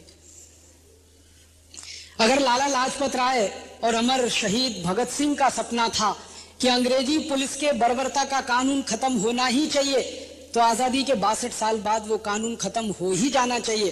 भले ही उसके स्थान पर हमें कोई नया कानून बनाना पड़े। नहीं तो भगत सिंह की शहादत अधूरी है। लाला लाजपत राय की शहादत अधूरी। अगर भारत के लाखों करोड़ों किसानों का सपना था कि अंग्रेज़ों के बर्बरता का कानून, लैंड एक्विजिशन एक्ट, भूमि अधिग्रहण का कानून खत्म होना ही चाहिए। तो आज़ादी के बासठ साल के बाद ये कानून खत्म होना ही चाहिए। क्यों चलना चाहिए? इसलिए पहला बिंदु जो आपके बीच में मैं रखना चाहता हूँ वो ये कि आज़ादी पूरी तब होगी, स्वतंत्रता पूरी तब होगी, स्वराज्य पूरा तब होगा, जब अंग्रेज़ों के बनाए हुए कानून हम इस देश से खत्म करेंगे, ज़रूरत पड़ने पर उन कानून की किताबों को आग लगाएँगे चौराहे चौराहे पर जलाएँगे, तब जाकर हम मानेंगे कि हमारे शहीदों का एक सपना पूरा आप बोलेंगे, ऐसे कितने कानून हैं अंग्रेज़ों के बनाए हुए? गाय को काटने का कानून, पुलिस के अत्याचार का कानून, कलेक्टर का कानून, ज़मीन छीनने का कानून, ऐसे चौंतीस हज़ार सात सौ पैंतीस कानून अंग्रेज़ों के बनाए इन सब कानूनों को खत्म करना है। आज नहीं तो कल कल नहीं तो परसों, क्योंकि गुलामी के समय के कानून आज़ादी में नहीं चलाए जाते। और गुलामी के कानून अगर आज़ादी में चले तो फिर आज़ादी की वर्षगांठ नहीं मनाई जाती, वो फिर पाखंड हो जाती।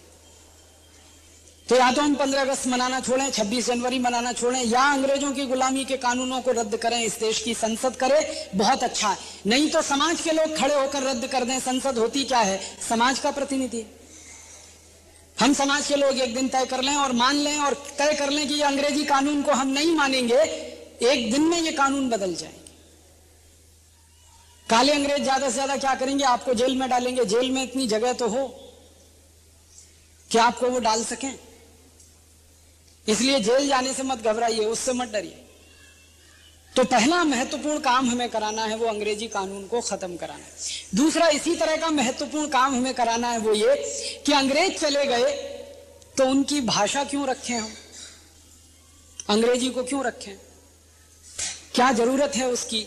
हमारे पास अपनी भाषा है हिंदी, हमारे पास अपनी भाषा है गुजराती, मराठी, तमिल, तेलुगु, कन्नड़, कश्मीरी, मलयालम उड़िया, बांग्ला, आसामी 22 भाषाएँ हैं जिनको संविधान ने स्वीकृत किया है और सारी भाषाएँ अंग्रेज़ी से बड़ी हैं और अच्छी। मैंने हिंदुस्तान की स्थानीय भाषाओं के शब्दों के शब्दकोश निकालकर अंग्रेज़ी के शब्दकोश से जब उनका तुलना कराया, आपको सुनकर बहुत खुशी होगी, सुख मिलेगा कि भारत की सबसे छोटी भाषा, जो सबसे कम लोगों द्वारा बोली जाती है, उसमें अंग्रेज़ी से ज़्यादा शब्द है। अंग्रेज़ों की भाषा अंग्रेज़ी में जितने शब्द नहीं है, उससे ज़्यादा भारत की भाषाओं में अंग्रेज़ी से ज़्यादा शब्द है। हमारी असमिया, हमारी बांग्ला, हमारी उड़िया, हमारी ये काश्मीरी भाषा, डोगरी जिसको आप कहते हैं, पंजाबी, हिंदी, सभी भाषाओं में अंग्रेज़ों की भाषा से ज़्यादा शब्द हैं। और अंग्रेज़ों की भाषा से हमारी भाषाएँ बहुत पुरानी है। अंग्रेज़ों की भाषा ये अंग्रेज़ी शुरू हुई है पांचवी शताब्दी से। पांचवी शताब्दी के पहले तो अंग्रेज़ी का कोई इतिहास नहीं मिलता दुनिया में। पांचवी शताब्दी माने आज से 1500 साल पहले के एक भी ग्रंथ में, एक भी साहित्य में अंग्रेज़ी का ज़िक्र नहीं है। जर्मन है, फ्रेंच है, डच है, इटालियन है, रशियन है, जापानीज है, चाइनीज़ है, डेनिश है, सारी दुनिया की भाषाएँ हैं। पांचवी शताब्दी के पहले अंग्रेज़ी नहीं है। अंग्रेज़ी का जन्म पांचवी शताब्दी में हुआ। और वो भी कैसे हुआ? किसी एक भाषा से थोड़े शब्द ले लिए, किसी दूसरी से ले लिए, किसी तीसरी से ले लिया और खिचड़ी बना के प्रस्तुत कर दी। उनके मूल अंग्रेज़ी शब्द तो सबसे कम है दुनिया में। और चूँकि सबसे नई भाषा है अंग्रेज़ी, इसलिए सबसे ज़्यादा गलतियाँ भी इसी में। जिस भाषा में सबसे ज़्यादा गलतियाँ होती हों, जिसका व्याकरण का कोई और नहीं, कोई छोर नहीं, और जिस भाषा की मूल गलतियों को ठीक करने की ताकत किसी में नहीं, उस भाषा को हमने ओढ़ के रखा है, बिछा के रखा है, पहन के रखा है। हमारी मूर्खता की भी हद है। कुछ भारतवासी को तर्क देते हैं कि अंग्रेज़ी अंतर्राष्ट्रीय भाषा है। कहाँ है? बताइए ना। दुनिया में 200 देश हैं। कौन से ऐसे देश में अंग्रेज़ी चलती है जो कभी अंग्रेज़ों का गुलाम नहीं हुआ? अंग्रेज़ी चलती है भारत में, अंग्रेज़ों का गुलाम हुआ। अंग्रेज़ी चलती है पाकिस्तान में, अंग्रेज़ों का गुलाम था। अंग्रेज़ी चलती है बांग्लादेश में, अंग्रेज़ों का गुलाम था। अंग्रेज़ी चलती है अफ्रीका में, अंग्रेज़ों का गुलाम रहा। अंग्रेज़ी चलती है कनाडा में, अंग्रेज़ों का गुलाम रहा। अंग्रेज़ी चलती है वेस्ट इंडीज में, अंग्रेज़ों का गुलाम देश। अंग्रेज़ी जहाँ जहाँ चलती है, वो सब वही देश हैं जो अंग्रेज़ों के गुलाम हुए। और जो देश कभी अंग्रेज़ों के गुलाम नहीं हुए, उनमें से किसी एक देश का नाम बताइए जहाँ अंग्रेज़ी चलती हो। फ्रांस में फ्रेंच है। जर्मनी में जर्मन है, इटली में इटालियन है, रूस में रशियन है, जापान में जापानीज है, चीन में चाइनीज़ है। डेनिश, डेन, इतना छोटा सा देश है। ग्रीनलैंड इतना छोटा सा देश है। डेनमार्क इतना छोटा सा देश है। आपको हैरानी होगी, हमारे एक ज़िले से छोटा देश है डेनमार्क। उनकी अपनी भाषा है डेनिश। उसी में पढ़ाते हैं, उसी में लिखाते हैं, उसी में न्याय करते हैं, उसी में प्रशासन चलाते हैं। प्रधानमंत्री से लेकर चपरासी तक सब बात करते हैं। डेनमार्क में, डेनिश में, कोई अंग्रेज़ी नहीं बोलता। पूरे डेनमार्क की आबादी अभी 20 लाख 22 लाख के आसपास। और इतना छोटा सा देश अगर अपनी भाषा में सब कुछ कर सकता है, न्याय व्यवस्था, इंजीनियरिंग की पढ़ाई, मेडिकल की पढ़ाई ये एमबीए की पढ़ाई, सारी पढ़ाइयाँ वो अगर डेनिश में करा सकता है तो हम हिंदुस्तानियों को क्या तकलीफ़ है? अपनी भाषा में अपनी पढ़ाई करना, मातृभाषा में अपनी पढ़ाई करना। तो हमको दूसरा बड़ा काम जो करना है अभी इस देश में वो ये कि जैसे अंग्रेज़ों को भगाया, वैसे अंग्रेज़ी को भगाना। जैसे अंग्रेज़ों को हटाया, वैसे अंग्रेज़ी को हटाना। आप बोलेंगे, ये शुरू कहाँ से होगा? ये शुरू आपके जीवन से होगा। आपके व्यक्तिगत जीवन से होगा। पहले चीज़ें व्यक्तिगत जीवन में शुरू होती हैं, फिर सार्वजनिक जीवन में अपने आप आ जाती हैं। तो आप अपनी ज़िंदगी से पहले अंग्रेज़ी को हटाइए धीरे धीरे देश और समाज से भी हटना शुरू हो जाएगी। कहाँ से हटाएँ? अपने घर में देखिए कहाँ कहाँ क्या क्या अंग्रेजियत का इस्तेमाल आप करते हैं। अपने बच्चों को बोलते हैं, मम्मी बोल, डैडी बोल। क्यों? खराब शब्द है मम्मी, कोई अच्छा नहीं है। M U double M Y mummy का अर्थ है, मरा हुआ। जान निकल जाती है शरीर में से तो बचे हुए शरीर को मम्मी कहते हैं, जिसको हम शव कहते हैं, उसको मम्मी कहा जाता है। और डैडी माने तो मरे हुए जैसा डी ए डी डैड और डी ए डी डैड से बना डैडी मरे हुए जैसा। तो माता पिता को मार डालें, ऐसी भाषा इस्तेमाल करें मम्मी और डैडी। क्या रखा है इसमें? अब तो कुछ ऐसे पढ़े लिखे मूर्ख हिंदुस्तानी है। मोम। मम्मी से भी आगे मोम। क्या अर्थ है? पता नहीं। बस बोलते रहते कितना सुंदर शब्द है माँ, जो दुनिया की किसी दूसरी भाषा में नहीं मिलता। हम बोलते हैं, जानवर भी बोलते हैं। गाय का बछड़ा पैदा होते ही माँ बोलता है। और हमने शायद माँ बोलना उसी से सीखा है। गाय ने हमसे नहीं सीखा, हमने गाय से सीखा है। तो जिसको हमारे गाय के बछड़े और बछड़ी बोलते हैं और हम बोलने में शर्म महसूस करें, छोड़िए इस गुलामी को, मम्मी, डैडी, आज से माँ बोलना शुरू करिए, पिता बोलना शुरू करिए। भाई बहन बोलना शुरू करिए ब्रदर सिस्टर बंद करिए। और कुछ कुछ तो विचित्र शब्द हैं अंग्रेज़ी के, अंकल, आंटी, क्या मतलब मालूम नहीं। हमारे यहाँ तो काका है, मामा है, मौसा है, फूफा है, मामा का मामा है, मौसा का मौसा है, फूफा का फूफा है, सभी के रिश्ते एकदम पक्के हैं। अंकल में तो कुछ भी पक्का नहीं। वो काका भी हो सकता है मामा भी हो सकता है मौसा भी हो सकता है फूफा भी हो सकता है कुछ भी हो सकता। है और आंटी तो और भी विचित्र है। अंग्रेज़ों के पास तो शब्द नहीं है अपने रिश्तों को बताने के लिए, इसलिए मजबूरी है अंकल और आंटी। शब्द क्यों नहीं है रिश्ते बताने के लिए? क्योंकि रिश्ते ही नहीं है समाज में निभाने के लिए। और रिश्ते क्यों नहीं है समाज में? क्योंकि परिवार नहीं है समाज में। रिश्ते परिवार से बनते हैं। परिवार पति पत्नी से बनता है। इंग्लैंड में पति पत्नी बन के तो कोई नहीं रहता, क्योंकि वो तो लिव इन रिलेशनशिप वाले लोग हैं। साठ से सत्तर प्रतिशत अंग्रेज़ तो बिना शादी किए रहते। अब बिना शादी किए रहेंगे तो पति पत्नी तो हो नहीं सकते, फिर जो बच्चे पैदा होंगे वो लावारिस ही होंगे। तो लावेरिसों के देश में जहाँ रिश्ते नहीं है, नाते नहीं है, वो अंकल और आंटी बोले और एक दूसरे को संबोधित करें तो उनकी मजबूरी है। हमारे देश में क्या मजबूरी है अंकल और आंटी बोलने की? हमारे पास तो काका है, हमारे पास तो काकी है, नानी है नानी है, मामा है, मामी है, सब कुछ है, स्पष्ट है। बड़ा विचित्र देश है अंग्रेज़ों का और भाषा भी विचित्र है। Father in law mother in law brother in law father in law कानून के पिता ब्रदर इन लॉ कानून का भाई सिस्टर इन लॉ कानून की बहन। माने सब कुछ कानून से है, भावना से कुछ नहीं, रिश्तों से कुछ नहीं। फिर वो मूर्ख लोग हिंदुस्तानी, उसका अनुवाद कर देते हैं। फादर इन लॉ माने ससुर। ससुर अलग होता है फादर इन लॉ बिल्कुल अलग है। ससुर फादर इन लॉ नहीं हो सकता। लेकिन हम भी मूर्ख लोग हैं। फादर इन लॉ को ससुर बनाते हैं, फिर मैं पूछता हूँ अच्छा कौन से? इधर वाले के इधर वाले? बता ही नहीं सकते आप फादर इन लॉ से कौन से। मदर इन लॉ कौन सी? इधर वाली की इधर वाली, बता ही नहीं सकते विचित्र भाषा, मूर्खों की भाषा अंग्रेज़ी। POT put. बीयूटी बुट होना चाहिए ना? और अगर बीयूटी बट तो पीयूटी पट होना चाहिए। पीयूटी पुट है तो बीयूटी बुट हो जाए। बीयूटी बट है तो पीयूटी पट हो जाए। अगर सीयूटी कट होता है तो पीयूटी पट क्यों नहीं हो सकता? कुछ पता ही नहीं। एक जगह सी जो है ना, का होता है। दूसरे की जगह सी चा हो सकता है। तीसरी जगह कुछ और हो सकता है। अंग्रेज़ी में एक शब्द है chemistry C H E M I S T R Y chemistry क्यों बोलते हैं? केमिस्ट्री बोलो। क्योंकि उसी अंग्रेज़ी में जब हम चोपड़ा लिखते हैं, C H O P R A ए तो कोपड़ा तो नहीं बोलते उसको, कोपड़ा साहब आ गए, कोपड़ा साहब आ गए। हम तो यही कहते हैं, भाई, चोपड़ा साहब आ गए। तो सी एच अगर यहाँ चाहे है तो सी एच केमिस्ट्री में चाह क्यों नहीं? है और सी एच अगर केमिस्ट्री में का है तो चोपड़ा में का क्यों नहीं? है उत्तर नहीं किसी अंग्रेज़ के पास इसका। वो कहते हैं, ये होता है। अब जिस भाषा में तर्क का उत्तर ना हो, सिर्फ़ होता है होता है। उसको डंडा लेके आप पीछे पड़े हैं। हर बच्चे को बचपन से मार मार के सिखा रहे हैं। अंग्रेज़ी बोल, अंग्रेज़ी सीख, बचपन से ही अंग्रेज़ी सीख, प्राथमिक कक्षा में अंग्रेज़ी सीख।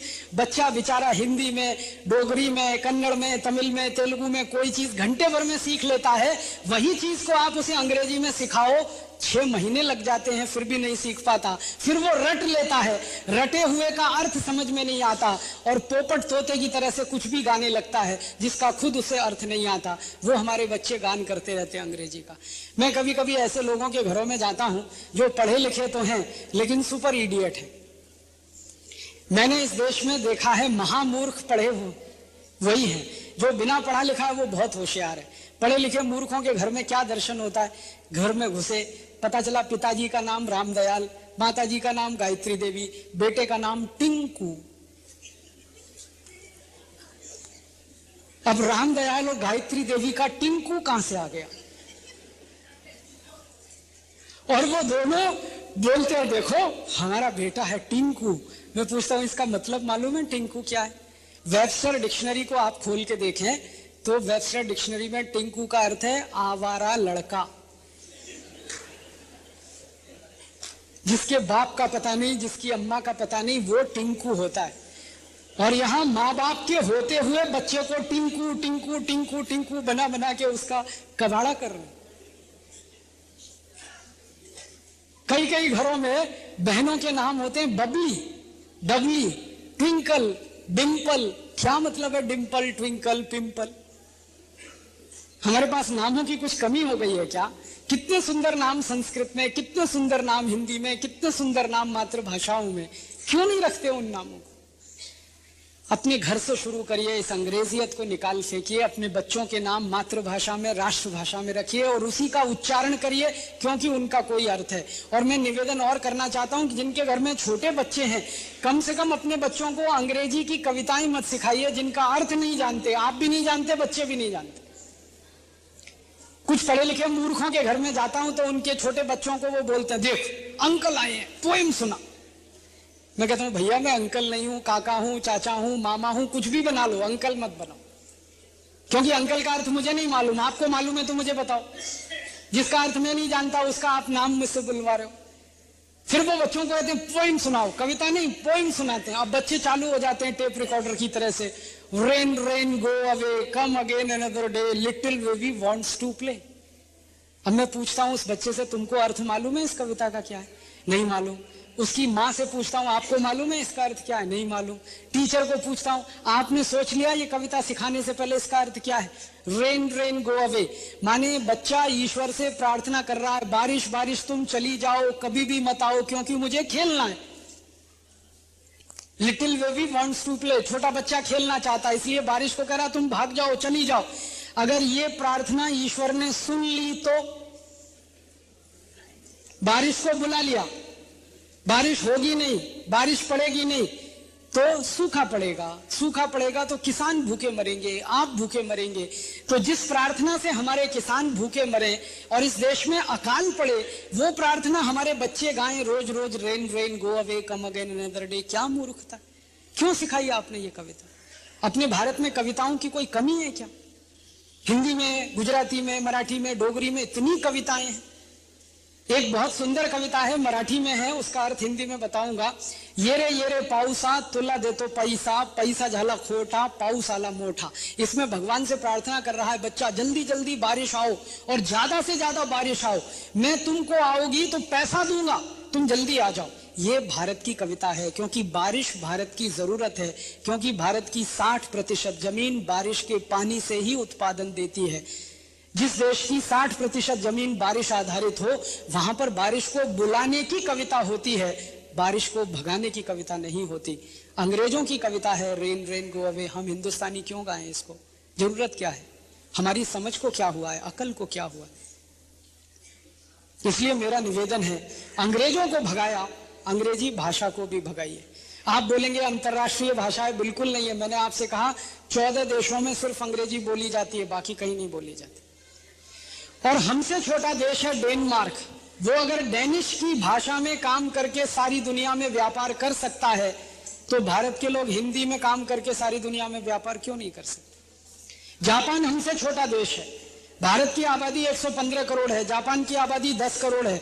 10 करोड़ की आबादी का जापान सारी दुनिया में अपने व्यापार का डंका मनवा रहा है और दुनिया के व्यापार में दूसरे तीसरे नंबर पर आ रहा है। अगर ये जापानीज में हो सकता है तो हिंदी में हम भारतवासी काम क्यों नहीं कर सकते?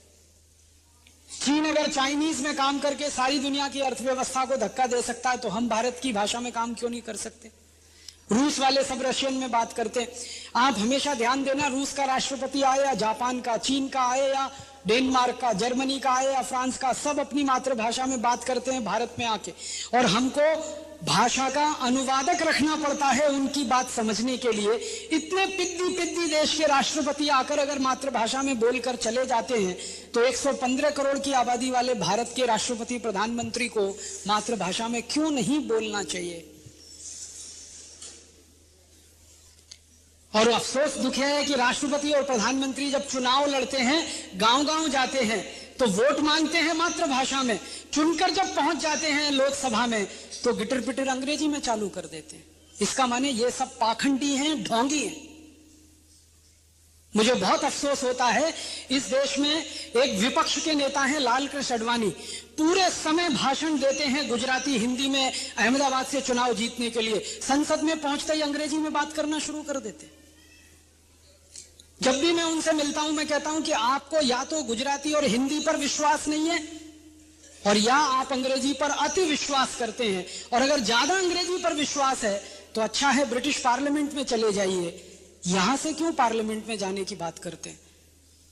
और भारत का भविष्य अपने हाथों में सुरक्षित हो, हम प्रधानमंत्री बन जाएँ, इसकी अपेक्षा आप कैसे कर सकते हैं?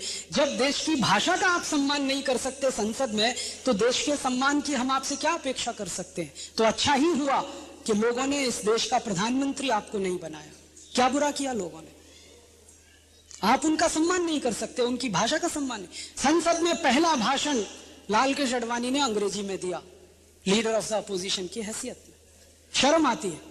इससे अच्छा तो श्री अटल बिहारी वाजपेयी रहे, जो यूएनओ में गए और हिंदी में दहाड़ कर आए और बोला कि जिसको समझना है समझे, नहीं समझना है तो भाषा अनुवादक रख ले। मैं मेरी भाषा का सम्मान कर सकता हूँ। और शायद इसलिए श्री अटल बिहारी वाजपेयी पर लोगों ने भरोसा किया और उनको इस देश का तीन बार प्रधानमंत्री बना दिया। शायद इसलिए लोगों के दिल में ये फांस सा चुपता है कि मातृभाषा में वोट लेने के समय बात करना और संसद में जाकर अंग्रेज़ी बोलने लगना। किसके लिए संसद चलाते हैं आप? किसको दिखाना चाहते हैं और किसको बताना चाहते हैं? इस देश में एक करोड़ हिंदुस्तानी भी नहीं है जो अंग्रेज़ी ठीक से बोल सकें, पढ़ सकें, लिख सकें और समझ सकें। 114 करोड़ लोगों के लिए अंग्रेज़ी बिल्कुल दूर की भाषा है। उनके लिए आप संसद चला रहे हैं 114 करोड़ के लिए या एक करोड़ के लिए? और दुख और तकलीफ़ और अफसोस इस बात का है कि संसद अकेली अंग्रेज़ी में बात नहीं करती है। सुप्रीम कोर्ट भी अंग्रेज़ी में ही बात करता है। मुकदमा करना है सुप्रीम कोर्ट में तो अंग्रेज़ी में करो। मुकदमे का फैसला लेना है तो अंग्रेज़ी में लो। वादी अंग्रेज़ी नहीं जानता, प्रतिवादी अंग्रेज़ी नहीं जानता। फैसला अंग्रेज़ी में क्यों आना चाहिए? न्याय चाहिए मुझे तो न्याय तो मेरी मातृभाषा में मिलेगा, तभी ना होगा।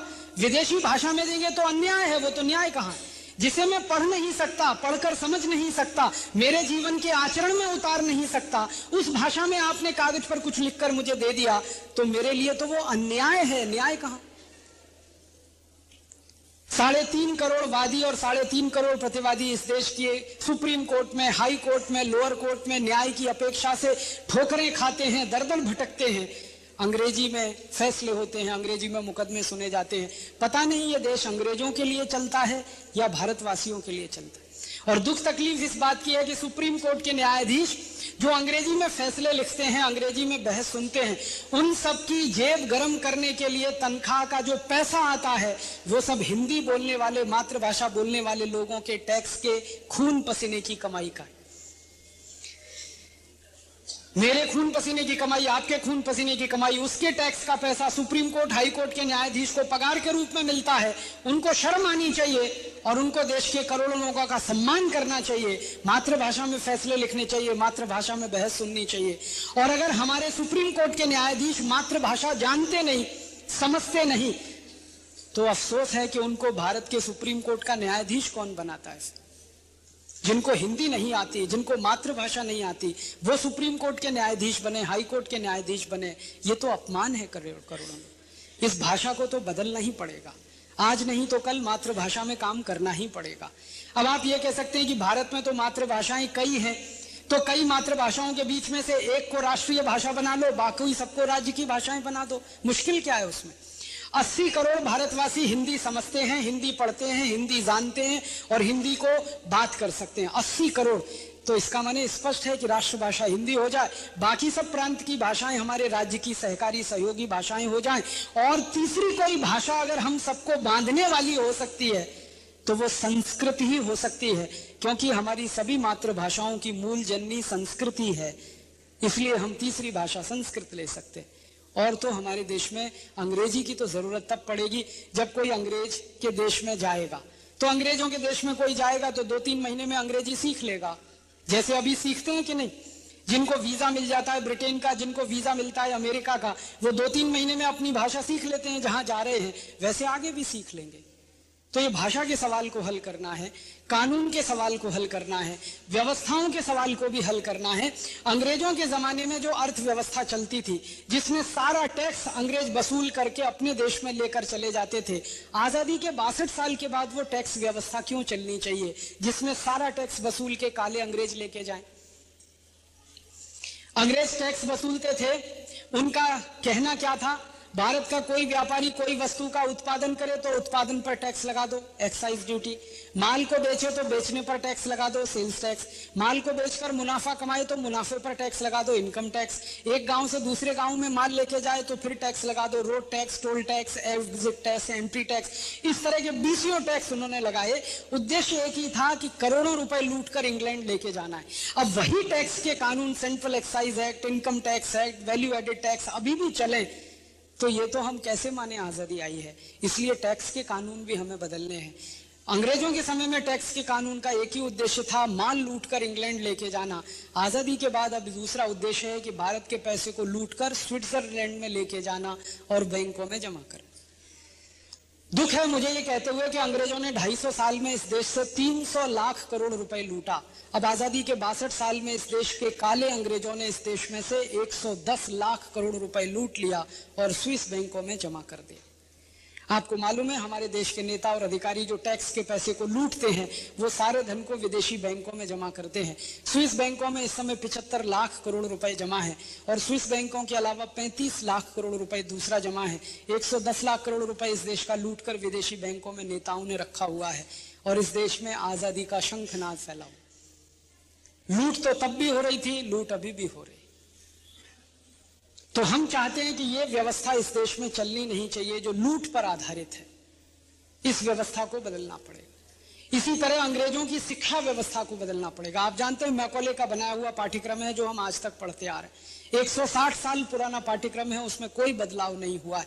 आज़ादी के बाद अब हमें वो अंग्रेज़ नहीं चाहिए, जो अंग्रेज़ों के जमाने में चाहिए थे।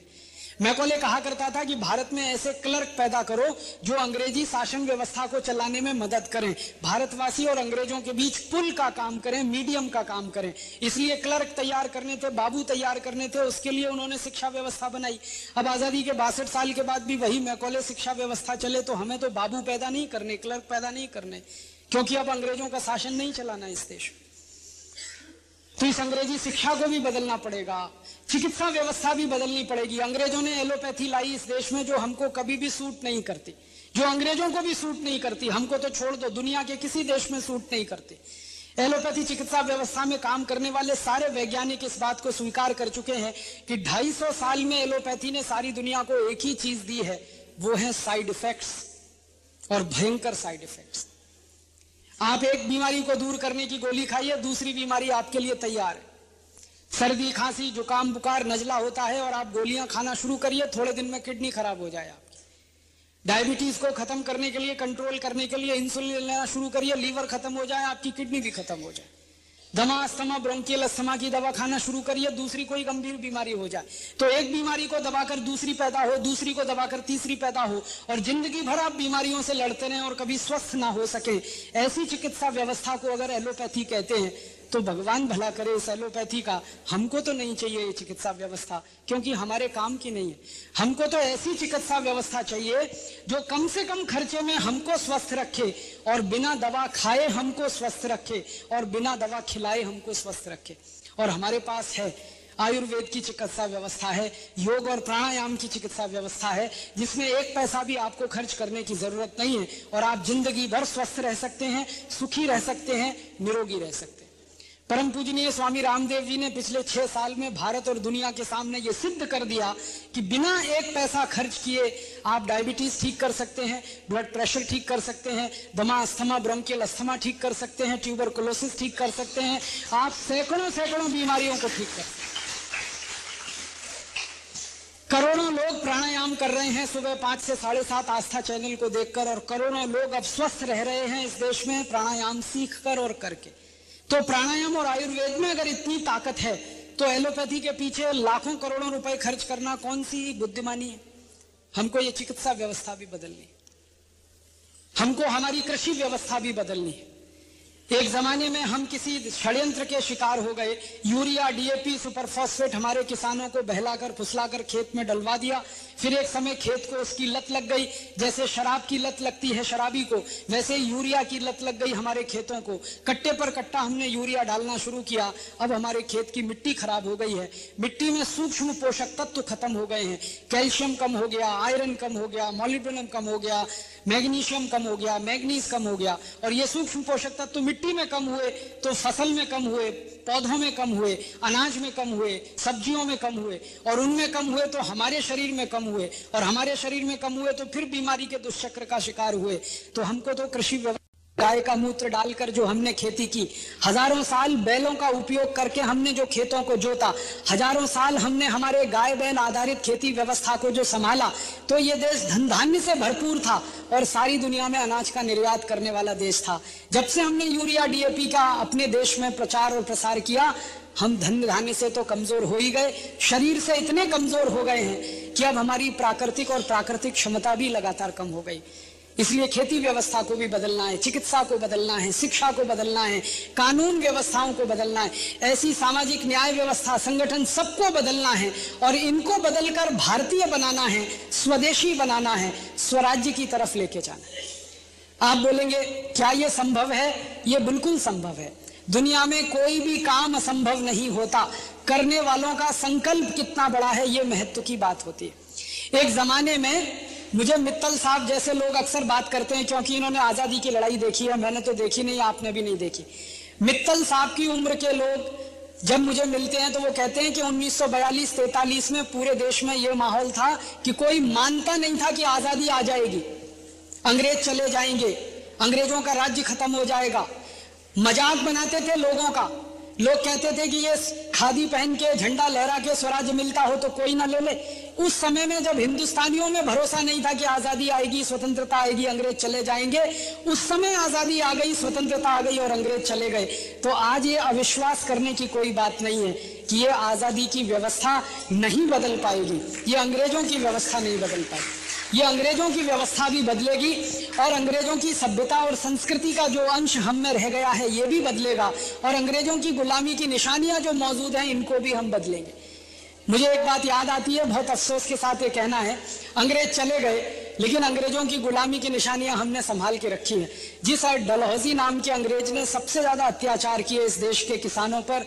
उसके नाम से हिमाचल प्रदेश में पूरा एक नगर बसा हुआ है डलहौजी। शर्म आती है मुझे उसका नाम लेने। जिस वास्को डिगामा ने पूरे पुर्तगाल के लोगों को लाकर हमारे दक्षिण भारत में बसाया, दक्षिण भारत के लोगों को ईसाई बनाया, लोगों को मार पीट के उनका धन लूटा, उस वास्को डिगामा के नाम पर गोवा में पूरा एक शहर बसा है। उसका नाम ही है वास्को डिगामा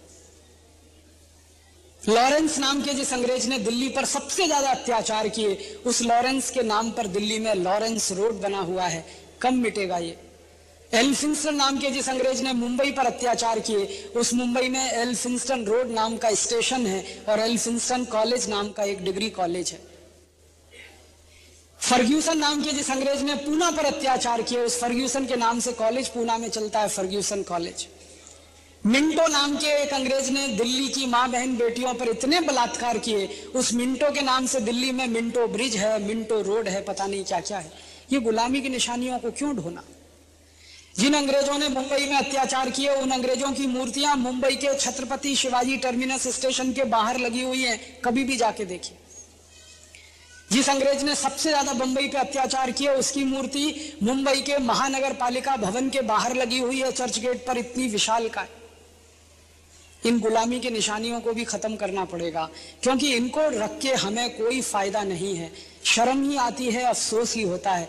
इनको तो पचास साल में खत्म हो जाना चाहिए था। क्यों नहीं खत्म होती?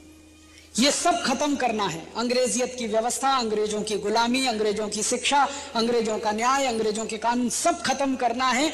और स्वदेशी, स्वराज्य और स्वतंत्रता को क्या केंद्र में रखकर, ध्यान में रखकर नई व्यवस्था, नए कानून और नया शासन तंत्र हमें बनाना है। उसी के लिए संग्राम करना है, उसी के लिए लड़ाई लड़नी है। और वही शहीदों का अधूरा सपना है और वही शहीदों की आज़ादी के बाद का सपना है। तो मैं आप सबको एक निवेदन करने आया कि अपने शहीदों की शहादत पर अगर आपको गर्व है और आप उनकी शहादत का सम्मान करते हैं तो उनके सपनों का भी सम्मान करिए जो सपने उन्होंने देखे थे इस देश की आज़ादी के लिए। हम शहीदों का सम्मान करें और उनके विचारों का सम्मान न करें। हम शहीदों का सम्मान करें और उनके सपनों का सम्मान न करें तो ये तो हमारे लिए शर्म की बात है। करना है तो टोटेलिटी में करना है, पूरा करना है, नहीं करना तो बिल्कुल नहीं करना। तो शहीदों के सपनों का सम्मान, उनके विचारों का सम्मान करके एक नया भारत बनाने के लिए, स्वदेशी स्वराज्य वाला भारत बनाने के लिए काम करें। चलते चलते एक छोटी सी आखिरी बात कहना चाहता हूँ। अंग्रेज़ों के जमाने में एक विदेशी कंपनी इस देश को लूटती थी। अंग्रेज़ों के बाद अब पाँच हज़ार विदेशी कंपनियाँ इस देश को लूटें और हम कहें कि आज़ाद हो गए। पहले ईस्ट इंडिया कंपनी लूट रही थी, अब पेप्सी कोला। पहले ईस्ट इंडिया कंपनी लूट रही थी, अब कोका कोला। पहले ईस्ट इंडिया कंपनी लूट रही थी, अब कॉलगेट, पामोलिव। पहले ईस्ट इंडिया कंपनी लूट रही थी, अब हिंदुस्तान लीवर। ऐसी पाँच हज़ार कंपनियाँ देश को लूट रही। आप बोलेंगे, क्या करें? एक ही काम करिए जो लोकमान्य तिलक ने किया, भगत सिंह, उधम सिंह ने किया, सावरकर ने किया। आपको मालूम है, वीर सावरकर ने अपनी ज़िंदगी के सोलहवें वर्ष में पुणे के एक बड़े भारी चौक में विदेशी सामानों की दो ट्रक होली जलाई थी, सोलह साल की उम्र। ऐसे क्रांतिकारी थे सावरकर। तो अगर वो विदेशी सामानों की होली जला सकते हैं अपनी ज़िंदगी के सोलहवें वर्ष में तो आप क्यों विदेशी सामानों को अपनी छाती से लगाकर अपने घर में रखे हुए हैं? इनको निकाल बाहर फेंकिए, इनको भी जलाइए विदेशी सामान। आप बोलेंगे, हमको तो पता ही नहीं है, विदेशी सामान क्या है, स्वदेशी सामान क्या है? उसको पता लगवाने के लिए एक छोटी सी पुस्तक बनाई है, जीवन दर्शन। परम पूजनीय स्वामी रामदेव जी की लिखी हुई है। यहाँ पतंजलि योग पीठ के चिकित्सालय में मिल जाएगी, वो ले लीजिए। वो पुस्तक में पूरी सूची दी गई है, क्या सामान विदेशी है, क्या स्वदेशी है। जो विदेशी सामान है, उसको कभी खरीद के मत लाइए। जो स्वदेशी सामान है, उसी को घर में लाइए। क्योंकि स्वदेशी के रास्ते से ही स्वराज्य की मंजिल पर पहुँचा जा सकता है, और कोई दूसरा रास्ता नहीं। ये कहकर मैं मेरे व्याख्यान को पूरा करना चाहता हूँ आपसे इस अपील के साथ, इस निवेदन के साथ कि आप अपने जीवन में शहीदों के सपनों को ज़िंदा रखिए, ईश्वर से नित्य दिन प्रार्थना करिए कि हमको इतनी शक्ति मिले, हमको इतनी ताकत मिले, हमारा संकल्प इतना दृढ़ हो कि हम हमारे बाकी पूरे जीवन में शहीदों के सपनों को साकार करने के काम में लग जाएँ। और अगर आपका ये संकल्प पूरा हो जाएगा तो आप भी उन शहीदों की श्रेणी में आ जाएँगे जिनके लिए आप सपना देख रहे हैं। और नहीं कर पाएँगे तो आप मीर जाफरों की श्रेणी में आएँगे, जो आने वाला समय आपको याद रखिएगा मीर जाफ़र की तरह से। रास्ता आपके सामने खुला है। भगवान ने मौका आपको दिया है। अब इस मौके का हम फ़ायदा उठाएँ। और आने वाले समय में देश की बेहतरी का काम जो होने जा रहा है, उसके लिए अपने तन मन धन को लुटाएँ तो जीवन में सार्थकता होगी। मैं आपसे एक बात ज़रूर कहूँगा कि इस देश में आने वाले समय में एक बहुत बड़ी क्रांति का अभियान शुरू होने जा रहा है। और वो क्रांति का अभियान इस देश के सैकड़ों संगठन, सैकड़ों व्यक्तियों के साथ मिलकर शुरू होने जा रहा है। परम पूजनीय स्वामी रामदेव, भारत स्वाभिमान ट्रस्ट और उसके बाद पतंजलि योगपीठ ऐसे सत्तर से ज़्यादा संगठन हैं। उनमें मैं सर्वहितकारी मंच को भी देखता हूँ। ये भी ऐसा ही एक संगठन है। ये सब संगठन मिलकर एक बड़ा प्लेटफॉर्म बनने जा रहे हैं। और इस प्लेटफॉर्म को इतना ही बड़ा बनाने की कोशिश हम कर रहे हैं जैसे शहीदों ने आज़ादी लाने के लिए बड़ा प्लेटफॉर्म बनाया था। हमारे शहीदों के बहुत सारे संगठन थे। किसी का एक, किसी का दो, किसी का तीन। उद्देश्य सबका एक ही था, आज़ादी लाना, स्वतंत्रता लाना, स्वराज्य की प्राप्ति करना। आज भी संगठन विभिन्न हो सकते हैं। उद्देश्य सबका एक ही है, शहीदों के सपनों को पूरा करना, भारत को स्वराज्य के लिए स्थायी रूप से बनाना, भारत को संपूर्ण स्वतंत्रता के लिए तैयार करना, सपना एक ही है, संगठन बहुत हो सकते हैं। उस जमाने में भी थी, आज भी थे। समय समय पर यह संगठन एक होते रहे और मिलकर लड़ते रहें। ऐसी प्रार्थना मैं ईश्वर से हर दिन करता हूँ। आप भी करिए। कौन जाने भविष्य में हम सब एक होकर ऐसी बड़ी लड़ाई के सिपाही हो जाएँ कि इस लड़ाई में हम जीत जाएँ। और हमारे दुश्मन जो देश को तीस टुकड़ों में तोड़ने का सपना देख रहे हैं, चाइना जैसे, हमारे दुश्मन जो पाकिस्तानी हैं, जो भारत को आतंकवाद के हवाले करने का सपना देख रहे हैं, वो पूरी तरह से परास्त हों, पराजित हों, और हम देशभक्त, हम राष्ट्रभक्त एक साथ इकट्ठे होकर विजयी हों। स्वामी जी एक बात बार बार कहते हैं कि दुष्ट लोग इकट्ठे होकर अगर बुरा कर सकते हैं तो सज्जन लोग इकट्ठे होकर देश का भला क्यों नहीं कर सकते? तो हम सब सज्जन शक्ति के लोग इकट्ठे हों देश का भला करने के लिए संकल्प करें, प्राणपण संकल्प करें तन मन धन से अपने संकल्प को निभाने की कोशिश करें। ये बोलकर आपका आभार व्यक्त करता हूँ। विवेक भाई का, उनके सहयोगियों का धन्यवाद देता हूँ, जिन्होंने मुझे आमंत्रित किया। और आप सभी के लिए ईश्वर से प्रार्थना करता हूँ कि आप में संकल्प बने, ताकत बने, समर्थ बने आप, और इस देश के अधूरे पड़े हुए उस काम को पूरा करें जो शहीदों ने उन्नीस सौ सैंतालीस में छोड़ दिया था हमारे करने के लिए। मुझे तो लगता है ये काम तो होने वाला है। आप करेंगे या कोई दूसरा करेगा। आप बनेंगे निमित्त या कोई दूसरा बनेगा। क्योंकि समय कई बार कई काम कराता है। हम नहीं करते हैं, समय कराता है। और शायद भारत का एक ऐसा अच्छा समय आ रहा है जो हम सब अच्छे लोगों को एक साथ इकट्ठा करके कोई अच्छा काम कराने की तैयारी कर रहा है। मैं तो मानता हूँ ये तो ईश्वर की कोई योजना है, भगवान की कोई योजना है। उस योजना में शायद हम कभी उन्नीस सौ सैंतालीस के पहले अलग अलग समूह में बटे हुए क्रांतिकारी रहे होंगे और जन्म लेकर इस जीवन में आए हैं। फिर हमको भगवान ने इकट्ठा करने का एक मौका दे दिया है और वो मौके को अगर हमने अपने हाथ से जाने नहीं दिया तो मुझे 200 प्रतिशत भरोसा है कि हम इस लड़ाई को लड़ेंगे और जीतेंगे। आप सभी को आभार। बहुत बहुत धन्यवाद।